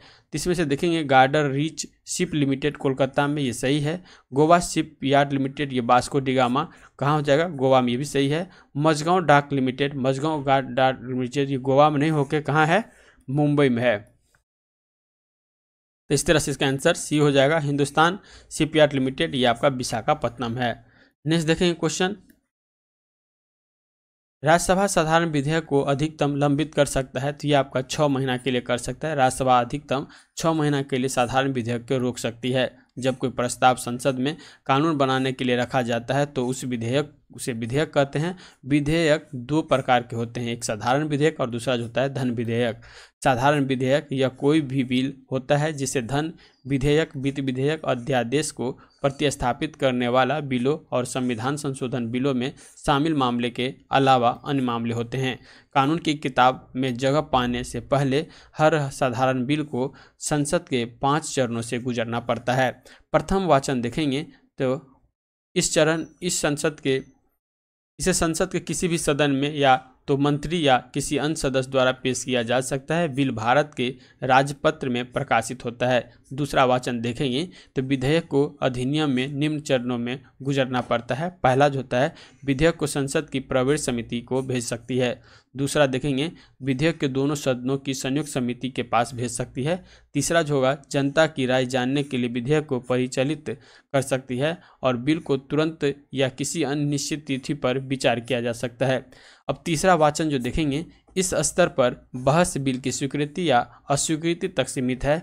और द्वितीय सदन में विधेयक देखेंगे तो यदि दूसरे सदन बिल को पूरी तरह से खारिज कर देता है या छः महीने तक कोई कार्यवाही नहीं करता है एवं गतिरोध उत्पन्न हुआ माना जाता है तो जिसके लिए राष्ट्रपति दोनों सदन का संयुक्त जो है बैठक बुला सकते हैं। 108 देखेंगे तो राज्यसभा एवं लोकसभा की संयुक्त प्रावधान किया गया है, जिसकी अध्यक्षता लोकसभा का जो अध्यक्ष करते हैं। नेक्स्ट देखते हैं, जो मैथ का क्वेश्चन है, इसमें देखेंगे तो इसका आंसर अस्सी हो जाएगा। बावन नंबर क्वेश्चन देखिएगा, राष्ट्रपति के द्वारा किस अपराध में दंड को कुछ समय के लिए निलंबन करना जो है कहलाता है तो ये जो कहलाता है, परिविलंबन कहलाता है। किसी दंड को कुछ समय के लिए टालने के लिए प्रक्रिया को परिलंबन के तहत होता है। इस प्रयोग मुख्य रूप से फांसी की सजा, पाए अपराधी के लिए होता है। भारत संविधान के अनुच्छेद बहत्तर और अनुच्छेद एक सौ इकसठ के अंतर्गत क्रमशः राष्ट्रपति और राज्यपाल की क्षमा, दान, शक्ति न्यायपूर्वालोकन के अधीन है। इस फैसले को अंतिम नहीं माना जा सकता है। राष्ट्रपति देखेंगे, राष्ट्रपति की क्षमा शक्ति में एक है लघुकरण, जो सजा की प्रवृत्ति को बदलना, जैसे मृत्युदंड को कठोर कारावास में बदलना है। वहीं परिहार देखेंगे। सजा की अवधि का बदलना, जैसे दो वर्ष के कठोर कारावास को एक वर्ष के कठोर कारावास में बदलना, विराम देखेंगे। तो विशेष परिस्थितियों के वजह से सजा को कम करना, जैसे शारीरिक अपंगता या महिलाओं की गर्भावस्था के कारण। नेक्स्ट देखेंगे, पर, परिविलंबन। किसी दंड को कुछ समय के लिए टालने की प्रक्रिया, जैसे फांसी को कुछ समय के लिए टालना, क्षमा देखेंगे तो पूर्णतः माफ़ कर देना, इसकी तकनीकी मतलब हो यह है कि अपराध कभी हुआ ही नहीं है। राज्यपाल की क्षमा शक्ति देखेंगे तो राज्यपाल मृत्युदंड क्षमा करके अधिकार नहीं है, यानी मृत्युदंड को क्षमा करने का अधिकार राज्यपाल के पास नहीं है। बाद की सारा काम ये कर सकते हैं। नेक्स्ट देखते हैं, भारतीय राज्य का आज़ादी के बाद पुनर्गठन मुक्त किस आधार पर किया गया था। पुनर्गठन जो किया गया था, ये भाषाई आधार पर किया गया था। उन्नीस सौ तिरपन में जो है आंध्र प्रदेश को जो किया गया था। देखिएगा, भारतीय राज्यों की आज़ादी का पुनर्गठन भाषाई आधार पर किया गया। भारत में भाषाई राज्यों का विचार स्वतंत्रता पूर्व उन्नीस सौ उन्नीस के पश्चात ही आरंभ हो गया था। 1920 में नागपुर कांग्रेस सत्र में भाषाई राज्य के निर्माण के सिद्धांत को स्वीकार कर लिया गया था और आज़ादी के बाद भाषाई आधार पर सीमाओं का पुनर्निर्धारण की गई अधिक उठाने लगी, जिसके फलस्वरूप कई आंदोलन और हिंसक घटनाएँ हुई। प्रथम भाषाई राज गठन पोट्टामी सीरी रामुल्ला की मृत्यु के बाद जो है, उन्नीस सौ तिरपन में मद्रास से तेलुगु भाषाई आंध्र प्रदेश को अलग करके किया गया था। इसके बाद सर्वोच्च न्यायालय ने भूतपूर्व न्यायाधीश फजल अली अध्यक्षा और अन्य देखेंगे तो एच एन कुंजरू और के एम पनिकर के इसके सदस्य थे। 22 दिसंबर उन्नीस सौ तिरपन को फजल अली की अध्यक्षता में गठित आयोग ने 30 सितंबर 1955 में केंद्र सरकार को अपनी रिपोर्ट प्रस्तुत कर दी, जिसमें भाषाई आधार पर राज्यों के गठन को स्वीकार, स्वीकारा गया, लेकिन एक राज्य, एक भाषा के सिद्धांत को अस्वीकार कर दिया गया और राज्य के पुनर्गठन के संबंध में जो है निम्न सिफारिश की गई। इसमें पहला जो है, ये देखेंगे तो राज्य का पुनर्, पुनर्गठन भाषा और संस्कृति के आधार पर अनुचित है। और दूसरा देखेंगे तो राज्य का पुनर्गठन राष्ट्रीय सुरक्षा, वित्तीय एवं प्रशासनिक आवश्यकता तथा पाँच वर्षीय योजनाओं की सफलता को ध्यान में रखते हुए किया जाना चाहिए। चौवन नंबर क्वेश्चन देखेंगे तो सुमेलित करने के लिए दिया है तो इसमें से एक सुमेलित कौन नहीं है? तो राजा राम मोहन राय का देखेंगे संवाद का मौजूद ये सुमेलित है। ईश्वरचंद विद्वा सागर ये आपका सोम प्रकाश, ये भी सुमेलित है। मोती लाल घोष देखेंगे तो ये अमृत बाज़ार पत्रिका, ये भी सही है। जबकि एनी बेसेंट का servant in society of India, ये यहाँ पर गर्वत है। क्योंकि देखेंगे तो एनी बेसेंट का जो होगा, ये आपका होगा न्यू इंडिया न्यू इंडिया और कॉमन बिल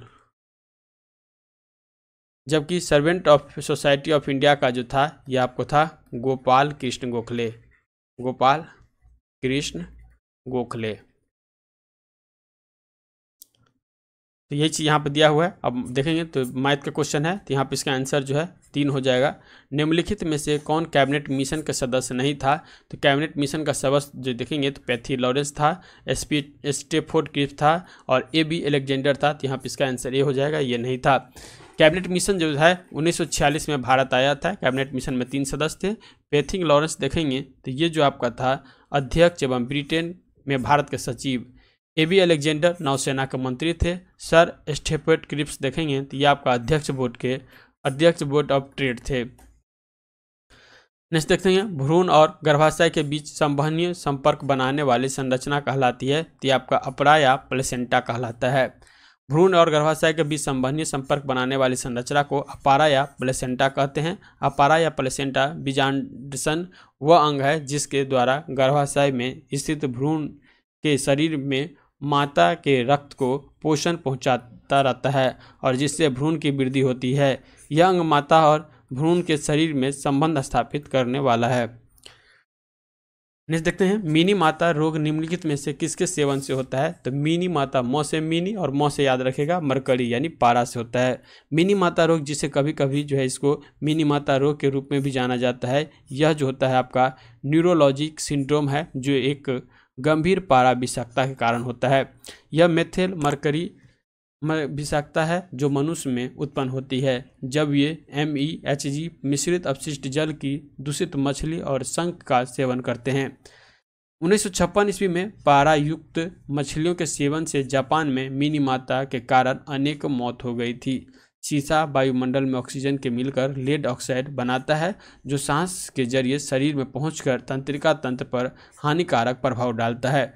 शीशा युक्त जल में एनीमिया, सिरदर्द मांसपेशिया की कमज़ोरी और मसूरे, नीलापन आदि का प्रभाव दिखाई देता है।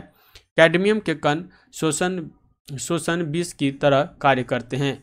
ये हृदय संबंधी उत्पन्न, रोग उत्पन्न करते हैं तथा दाब को बढ़ाते हैं। कैडमियम की अधिकता से इटाई इटाई नामक रोग होता है, जिसमें हड्डियों एवं जोड़ों की तीव्र दर्द हो जाता है।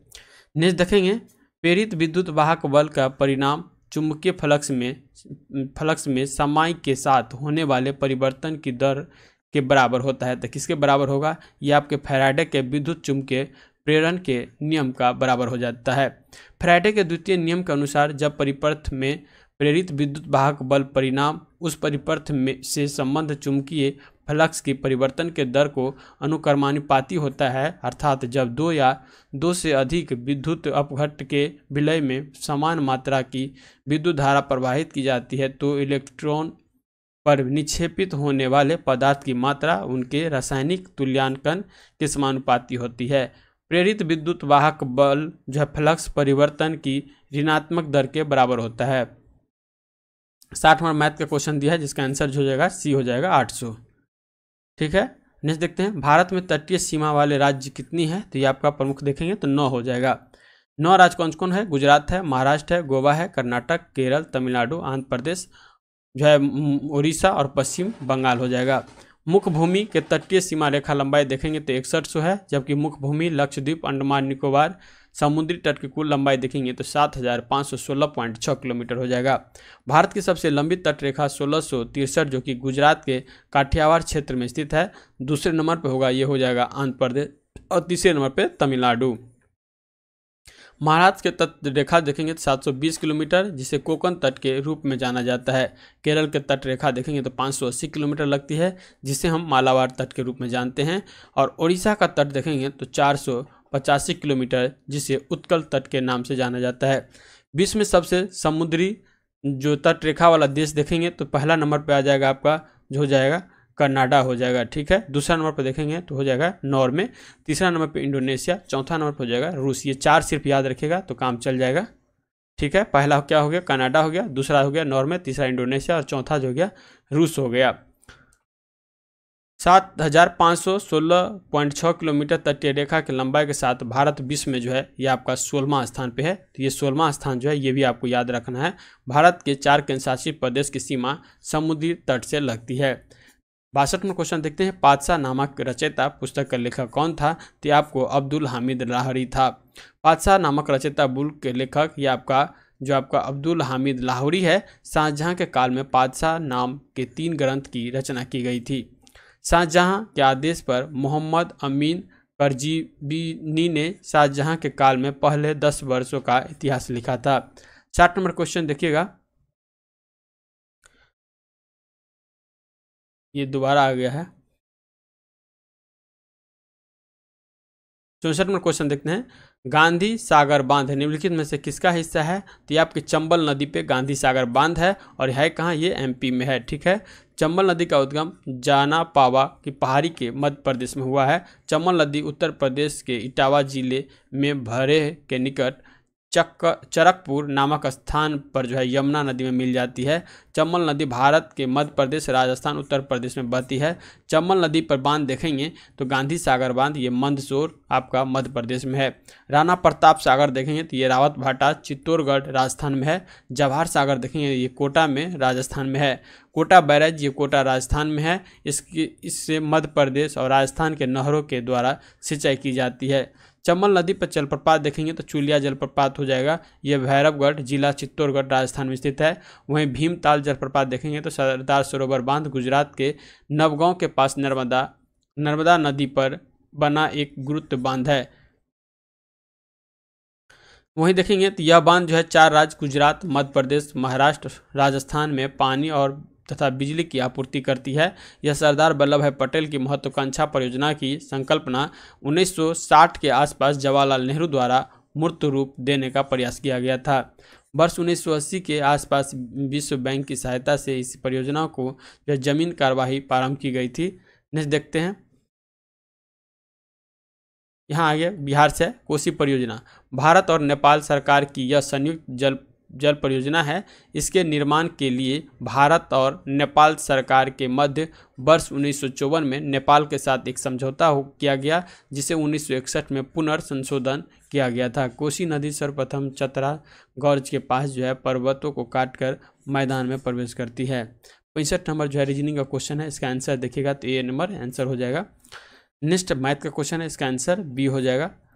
नेक्स्ट देखिएगा तो निम्नलिखित राज्यों में से किस जो है केबुल लामजाओ राष्ट्रीय पार्क है? तो ये आपका मणिपुर में है और केबुल लामजाओ राष्ट्रीय पार्क जो है, ये आपका कौन से झील में है? ये कभी कभी पूछ लेता है, जो कि लोकटक झील में स्थित एक टापू है वहीं पर एक झील है। तो यहाँ देखिएगा, लोकटक झील में है। उन्नीस सौ इक्यावन में मणिपुर सरकार के संगाई हिरन विलुप्त होने की घोषणा कर दी गई, किंतु बाद में व्यापक खोज के बाद कुछ संगाई हिरन पाए गए। इन्हें बचाने के उद्देश्य से उन्नीस सौ चौवन में केबुल लामजाओ अभ्यारण्य की स्थापना की गई। केंद्र सरकार 1977 में केबुल लामजाओ को नेशनल पार्क का दर्जा किया गया। अब नागालैंड में देखेंगे तो इंटाकी हो जाएगा, फकीम हो जाएगा पुली बैराज और राष्ट्रीय उद्यान हो जाएगा। वहीं मणिपुर में सिरोही राष्ट्रीय उद्यान है, सिक्किम में देखेंगे कंचनजंगा राष्ट्रीय उद्यान है, अरुणाचल प्रदेश में नामदफा मैलिंग राष्ट्रीय उद्यान है। अड़सठ नंबर क्वेश्चन देखेंगे तो निम्नलिखित में से किस गवर्नर जनरल का नाम व्यापगत सिद्धांत यानी डॉक्टरिंग ऑफ़ लॉस के साथ जुड़ा है तो आपका लॉर्ड डलहोजी का जुड़ा है।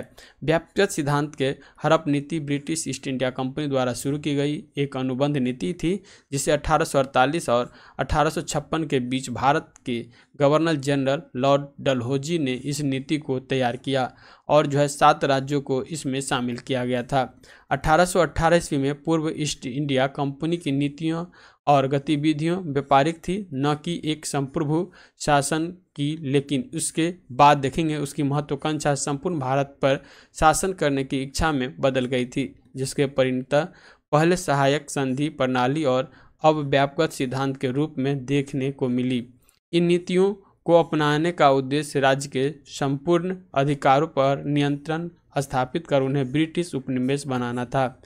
इस नीति के तहत देखेंगे तो ऐसे राज्य से उत्तराधिकारी न होने के आधार पर शासन करने का अधिकार छीन लिया गया। और हड़प नीति के शासन के तहत देखेंगे तो पहला जो किया गया था, अठारह सौ अड़तालीस में सतारा किया गया था। दूसरा में किया गया जैतपुर, जो कि उनचास में। उनचास में ही किया गया था संभलपुर को। बघात याद रखेगा पचास में। उदयपुर किया गया बावन में। झांसी किया गया तिरपन में। और नागपुर जो सबसे लास्ट में, जो कि चौवन में किया गया था। कुछ समय बाद इस नीति के प्रावधानों के कारण जनता के मध्य रोष पैदा हो गया और आगे चलकर इस रोष में अठारह ईस्वी का विद्रोह का आधार तैयार हो गया था। डलहौजी के द्वारा जो है अठारह में रेलवे यात्री ट्रेनों की, अठारह सौ तिरपन में इलेक्ट्रिक टेलीग्राम की और अठारह सौ चौवन में डाक की जो है शुरुआत किया गया था। देखिएगा तो प्रथम कारखाना अधिनियम जो आया था, अठारह सौ इक्यासी में स्थानीय स्वशासन प्रोत्साहन जो आया था, अठारह में बर्नाकुलर प्रेस जो आया था, अधिनियम जो रद्द करवाया गया था अठारह में और शिक्षा संबंधी सुधार अठारह में, नागरिक सेवा सुधार ये भी आया था, सर्वप्रथम नियमित जनगणना अठारह में और इलवर्ट विवाद जो आया था अठारह सौ तिरासी से जो है चौरासी में। लॉर्ड विलियम बेटिंग का काल देखेंगे तो ये सारा जो याद रखेगा ये सारा आया था, शायद लिटन के काल में आया था, देख लेते हैं। सॉरी, लॉर्ड रिपन के काल में आया था ये। लॉर्ड रिपन ब्रिटिश आते थे, करते थे तो लॉर्ड रिपन के काल में ये सारा सुधार आया था तो ये चीज़ याद रखेगा लॉर्ड विलियम बेंटिक का कार्यकाल देखेंगे तो अठारह सौ अट्ठाईस से अठारह सौ पैंतीस तक भारत के गवर्नर जनरल रहा। इसके महत्वपूर्ण कार्यों में सती प्रथा तथा ठगी प्रथा का अंत हुआ था। राजा राम मोहन राय जो है 1822 से सती प्रथा के विरोध में आंदोलन शुरू किया, जिसके कारण अठारह सौ उनतीस में सती प्रथा पर रोक लगा दी गई। ठगी प्रथा का रोक लगाने वाले योग्य अधिकारी में विलियम हेनरी सिलेमेन थे। लॉर्ड कर्जन देखेंगे तो अठारह सौ निन्यानवे में भारत के वायसराय के रूप में नियुक्त किया गया था। उन्होंने 1905 में बंगाल के विभाजन का आदेश दे दिया और उन्होंने वर्ष अठारह सौ निन्यानवे में कलकत्ता नि, निगम अधिनियम पारित किया गया। प्राचीन भारतीय स्मारक की रक्षा के लिए एक कानून पारित किया गया था। नेक्स्ट देखते हैं, उनहत्तर नंबर क्वेश्चन, निम्नलिखित में से भारत में सदाबहार वन कहाँ पाए जाते हैं? तो ये जो पाया जाता है, असम में पाया जाता है। भारत में सदाबहार वन, असम में पाया जाता है। सदाबहार वन, भारत के पश्चिमी घाट गुजरात के दक्षिण में केरल तक फैला हुआ है। इसके अलावा देखेंगे तो यह वन अंडमान, निकोबार द्वीप समूह और लक्षद्वीप में पाए जाते हैं। तथा पूर्वी हिमालय क्षेत्र में यह वन असम, मणिपुर, मिजोरम, त्रिपुरा, नागालैंड, मेघालय और शिलांग पठार और बंगाल के कुछ हिस्से में पाए जाते नेक्स्ट देखते हैं। इस वन में 200 सेंटीमीटर से अधिक वर्षा होती है तथा सदाबहार वन भारत के उष्ण कटिबंधीय क्षेत्रों में आते हैं। सदाबहार की कुछ विशेषताएँ देखेंगे तो इसमें वन जो है काफ़ी घने होती हैं। दुनिया के सबसे ऊँचे वृक्ष भी इस वन में पाए जाते हैं। तीसरा देखेंगे तो वन पूरे साल भर हरा भरा रहता है और इसमें जो है बाँस, मगो, महोगनी, रबर, शीशम आदि पाए जाते हैं। मनुष्य का जो रक्तचाप होता है, वो देखेंगे तो 120 बटा अस्सी होता है। यहाँ इसका आंसर डी हो जाएगा। ब्लड प्रेशर के रक्तचाप दबाव जिसकी वजह से शरीर के चारों और ब्लड को हृदय से पंप किया जाता है। सिस्टोलिक जो होता है 120 होता है और डायलिसिस जो होता है जो होता है डायस्टोलिक हो जाए, ये आपका 80 होता है। नॉर्मल ब्लड प्रेशर का जो होता है, ये आपका 120 सौ बटा अस्सी एम होता है। संकुचन चरण के दौरान अधिकतम दबाव जिस पर मुख्य धमनी के माध्यम से हृदय का ब्लड को छोड़ देता है, उसे ही सिस्टोलिक दबाव कहा जाता है। हृदय को रिलैक्स या विस्तार चरण के दौरान धमनियों के न्यूनतम दबाव को डायस्टोलिक दबाव कहा जाता है। नहीं देखते high blood pressure hypertension के रूप में जाना जाता है। लो ब्लड टेंशन देखेंगे तो हाइपो टेंशन के रूप में जाना जाता है। ब्लड प्रेशर को सिर्फ़ गैगनोमीटर के उपकरण द्वारा मापा जाता है। अधिवृत ग्रंथि का गुच्छा स्तर देखेंगे तो एल्डोस्टोरेन नामक खनिज संतुलक कांटिकॉक हार्मोन द्वारा निर्माण करता है, जो रक्तचाप को बनाने, बनाए रखने में मदद करता है। नेक्स्ट देखेंगे, सुंदरबन पाए जाते हैं तो ये आपको मैग्रोनी वन जो होता है, सुंदरबन जो कि डेल्टाई क्षेत्र में पाया जाता है। और सबसे ज़्यादा देखेंगे तो ये सर्वाधिक जो मैग्रोई वन है, ये क्षेत्र वाला राज्य पश्चिम बंगाल है, गुजरात है, अंडमान निकोबार है। तो सबसे ज़्यादा ये सुंदरबन जो डेल्टा है, उस क्षेत्र में पाया जाता है। नेक्स्ट आता है, यारकर शब्द का प्रयोग किस खेल से है? तो यारकर आपको क्रिकेट से है, जो बॉलर जो करता है तो यॉर्कर मारता है, उसको संबंध ही क्रिकेट से है। क्रिकेट का अंत शब्द में देखेंगे तो पावर प्ले होगा, बाउंड्री होगा, L L B L B W होगा, लेग वाई होगा मेडाउन ओवर होगा, नो बॉल होगा और स्टाम्प होगा। वहीं टेनिस का महत्वपूर्ण शब्द याद रखेगा एस होगा, स्ट्रोक होगा, ड्यूस होगा, डीप बॉली हो जाएगा, डबल फॉन्ट हो जाएगा, लेट हो जाएगा, लव हो जाएगा। स्लाइस हो जाएगा और स्मैक स्मैश हो जाएगा और बॉली हो जाएगा। भारत में शूटिंग खेलों के बढ़ावा देने के लिए लोकप्रिय बनाने के उद्देश्य से national rifle association of India की स्थापना जो है उन्नीस सौ इक्यावन में किया गया था। भारत में नेटबॉल की शुरुआत महिलाओं द्वारा लगभग 1926 में हुई थी। नेटबॉल फेडरेशन ऑफ़ इंडिया की शुरुआत भारत में जो है उन्नीस सौ अठहत्तर में किया गया था। नेक्स्ट क्वेश्चन देखते हैं। तिहत्तर नंबर, भारत के कौन सा राज्य नौका दौड़ के लिए प्रसिद्ध है? तो यह आपका केरल जो हो जाएगा, ये प्रसिद्ध है। राजा महाबली के स्वागत में ओनम त्यौहार मनाया जाता है। ओनम त्यौहार श्रवण महीने के प्रारंभ में मनाया जाता है। यह देखेंगे, त्यौहार पंद्रह दिन का होता है। यह त्यौहार नौका दौड़ प्रतियोगिता के लिए प्रसिद्ध है। विश्व नौका, नौकायन अंतर्राष्ट्रीय ओलंपिक समिति का द्वारा नौकायन, नौका दौड़ का खेल जो है, के लिए विश्व शासी निकाय के रूप में मान्यता प्राप्त है। इस गठन, इसका गठन जो है उन्नीस सौ चार में इंटरनेशनल याट रेसिंग यूनियन के रूप में किया गया है। नेक्स्ट दिया है प्रतिरोधक निकालने के लिए इसका निकालेंगे तो यह आर टू बराबर जो है टू आर वन हो जाएगा रजिस्टेंस है। भारत में थोरियम जो है सबसे ज़्यादा विशाल भंडार कहाँ पाया जाता है? तो ये आपका केरल में पाया जाता है। संसार में थोरियम का सबसे बड़ा भंडार जो है केरल राज्य बिहार में उपस्थित ज्ञात है। भारत में थोरियम के भंडारण लगभग देखेंगे तो तीन लाख साठ हज़ार टन है। भारत का थोरियम भंडार विश्व के कुल भंडार का पच्चीस प्रतिशत है। इसकी खोज जो है अठारह सौ अट्ठाईस में बर्जिलियस ने किया था।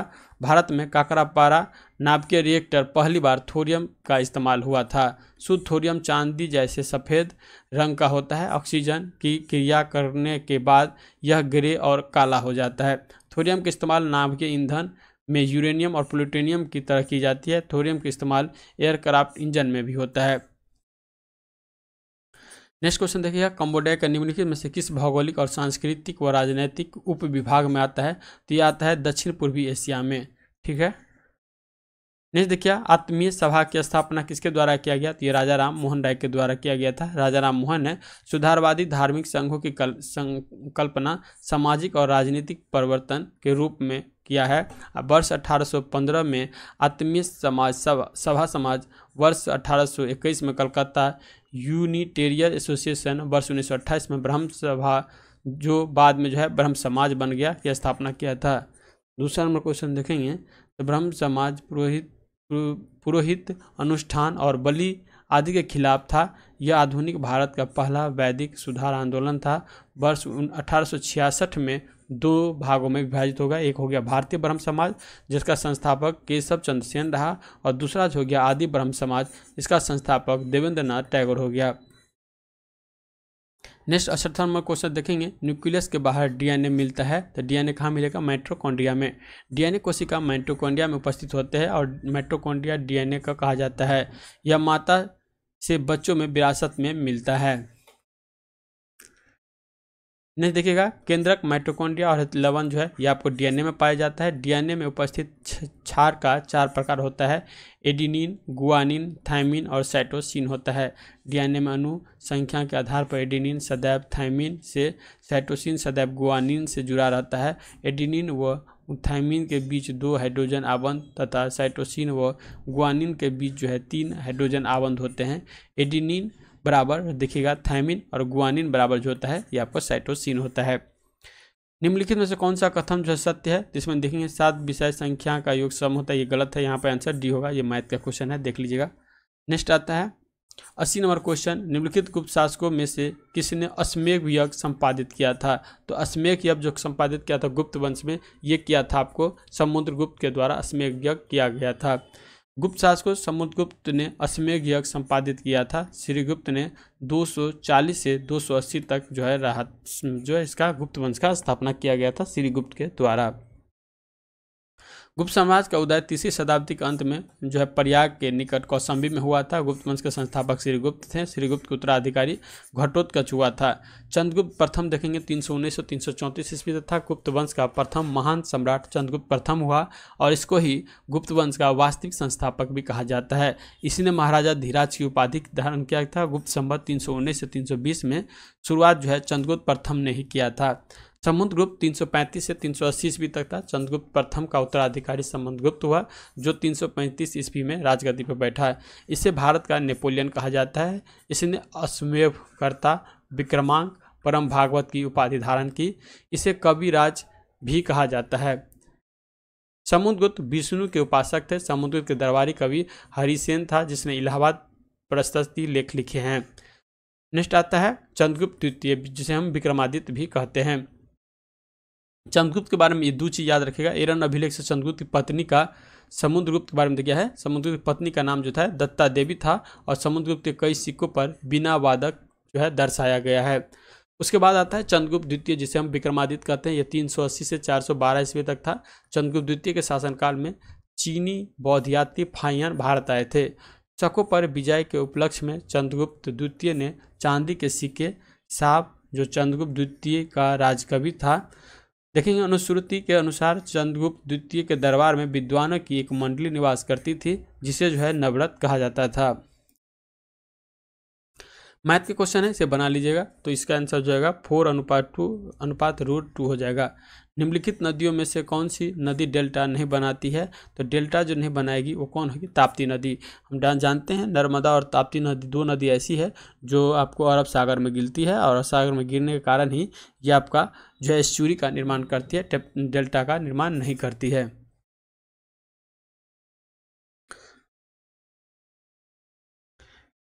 यहाँ देखिएगा, रीजनिंग तिरासी नंबर दिया है, इसका आंसर बी हो जाएगा।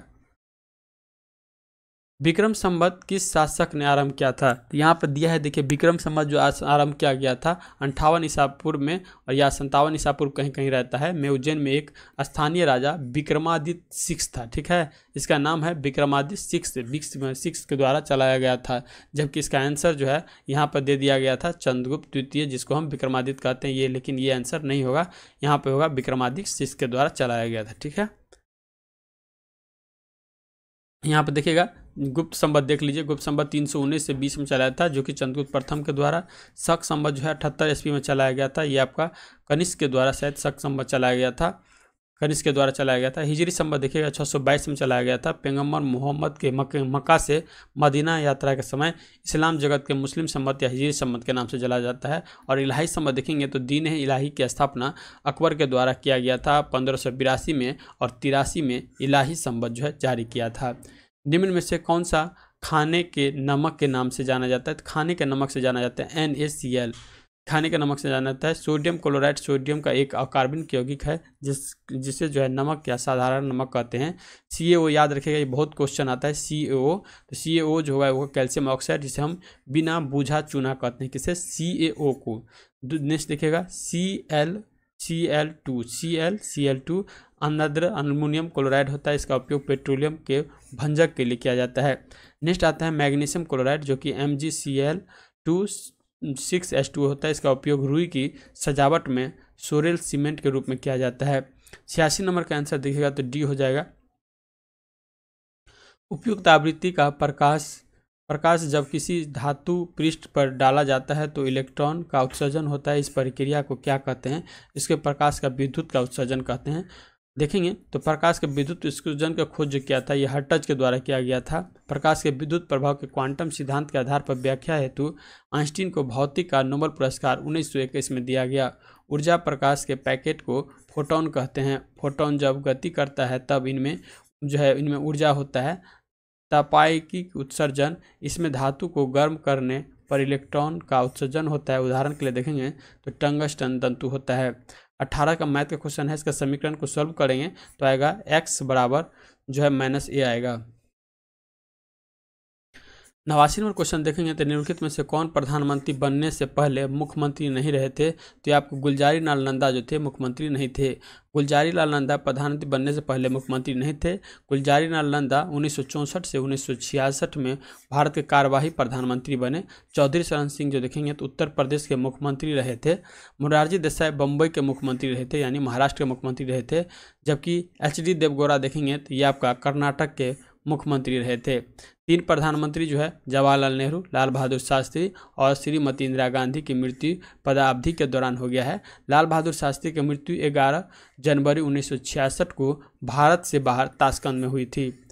नेक्स्ट नंबर नंबर क्वेश्चन देखेंगे, निम्न से कौन सा वर्ग फ्रांस के तृतीय स्टेट का हिस्सा नहीं है? तो ये आपका पादरी नहीं है।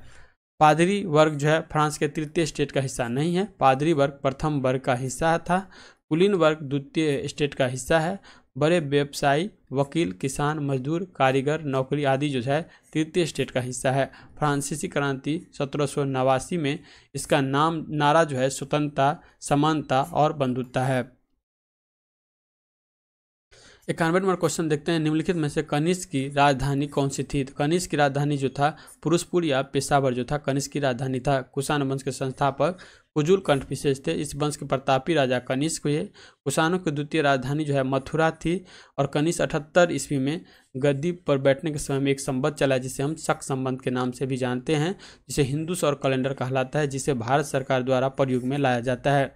बौद्ध धर्म के चौथी संगति कनिष्क के शासनकाल में ही कुंडलवन कश्मीर में प्रसिद्ध में वासुमित्र की अध्यक्षता में किया गया था और इसमें ही पहली बार एक उपाध्यक्ष था, जिसका नाम था अशुघोष कनिष्क बौद्ध धर्म के महायान संप्रदाय का अनुयायी था। कुषाणों ने सोने का सर्वाधिक सिक्का, शुद्ध सिक्का जारी किया था। कुषाणों को उत्तर, उत्तरी तथा उत्तरी पश्चिम भारत में सर्वाधिक संख्या में तांबे का सिक्के जारी किया। कनिष्क राज्य वैद्य जो था, आयुर्वेद के विद्वान जो था, वो चरक और चरक संहिता की रचना किया था चरक के द्वारा।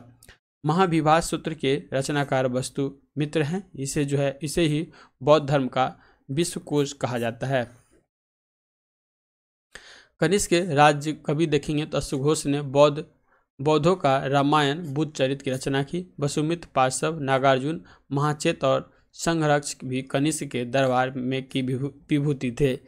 भारत के आइंस्टीन नागार्जुन को कहा जाता है। इसके पुस्तक माध्यमिका सूत्र, इसमें नागार्जुन ने सापेक्षा के सिद्धांत दिया है। गंधार शैली एवं मथुरा शैली का विकास कनिष्क के शासनकाल में हुआ है। गंधार कला के लिए तक्षशिला प्रसिद्ध है। बिरानवे नंबर क्वेश्चन दिखेगा तो ये आपका रीजनिंग का है। इसको मिलाइएगा तो आपका स्प्लिंट हो जाएगा, यानी डी नंबर आंसर हो जाएगा। अंतर्राष्ट्रीय श्रम संगठन का मुख्यालय कहाँ है? तो ये आपका जेनेवा में है। अंतर्राष्ट्रीय श्रम संख्या मुख्यालय देखेंगे तो उन्नीस में इसका स्थापना हुआ। जेनेवा इसका मुख्यालय है और प्रथम जो इसका अध्यक्ष है, अभी प्रमुख अध्यक्ष गिलबर्ट हैगबो है, इसका अध्यक्ष है। एक सौ सतासी इसका देश है और सतासीवा देश जो बना है, वो आपका टोंगा बना है, एक सौ सतासीवा देश। अंतर्राष्ट्रीय मुद्रा कोष आईएमएफ देखेंगे तो इसका हेडक्वार्टर वाशिंगटन डीसी में, इसकी स्थापना 1945 में और क्रिस्टीना जॉर्जेवा जो है इसका, जो है मुख्य या प्रमुख बोले जो है, उन्नीस एक एक सौ नब्बे में इसका सदस्य है और सदस्य जो बना है, अंडोरा बना है, इसका एक सौ नब्बे वाला सदस्य। विश्व बैंक देखेंगे तो 1944 में वाशिंगटन डीसी में इस, उसका मुख्यालय है और डेविस मालपास जो है इसका अध्यक्ष है और एक सौ नवासीवा, जो एक सौ नवासीवा देश जो है नौरू बना है, टोटल एक सौ नवासी देश भी है। खाद्य एवं कृषि संगठन एफ़ देखेंगे तो 1945 में इसकी स्थापना हुआ है। रोम और इटली जो है इसका मुख्यालय है। क्यू डोंग यू जो है इसका प्रमुख या अध्यक्ष है और एक सौ संतानवे देश है। आर्थिक सहयोग एवं विकास संगठन 1961 में इसका स्थापना हुआ। पेरिस इसका हेडक्वार्टर है और महासचिव जो है माथीयास कॉमन और सैंतीस देश है, सैंतीसवा देश जो बना है, वो कोलंबिया बना है। इसके बाद आता है संयुक्त राष्ट्र संघ यूएनए 1945 में इसका स्थापना हुआ। न्यूयॉर्क इसका जो हेडक्वार्टर है और एंटोनियो गुतेरस जो है इसका अध्यक्ष है और एक जो है देश बना है, वो बना है दक्षिणी सूडान। यूनेस्को देखेंगे तो एक उन्नीस है। पेरिस इसका जो है हेडक्वार्टर है। और ये देखेंगे, आंद्रे ओजल जो है, इसका अध्यक्ष है और एक सौ पंचानवे देश इसमें शामिल है। विश्व स्वास्थ्य संगठन में एक सौ में इसका स्थापना हुआ। जेनेवा इसका स्विट्जरलैंड हेडक्वार्टर है। और टेड्रोस आधोनोम जो देखेंगे, ये इसका अध्यक्ष है। और टोटल देश जो है, एक सौ चौरानवे है। एन एमनेस्टी इंटरनेशनल, ये आपका लंदन इसका हेडक्वार्टर है। और उन्नीस सौ इकसठ में इसकी स्थापना हुआ था। और महासचिव जो है, एग्नेस कैलमर्ड जो है, ये इसका महासचिव है और टोटल देश जो देखेंगे तो डेढ़ सौ या एक सौ पचास है। राष्ट्रीय संयुक्त राष्ट्र विकास कार्यक्रम यू एन डी पी उन्नीस सौ पैंसठ में इसकी स्थापना हुआ था। न्यूयॉर्क इसका हेडक्वार्टर है। अचीम स्टेनर जो है, ये इसका अभी अध्यक्ष है और इसमें देश की संख्या नहीं दिया हुआ है।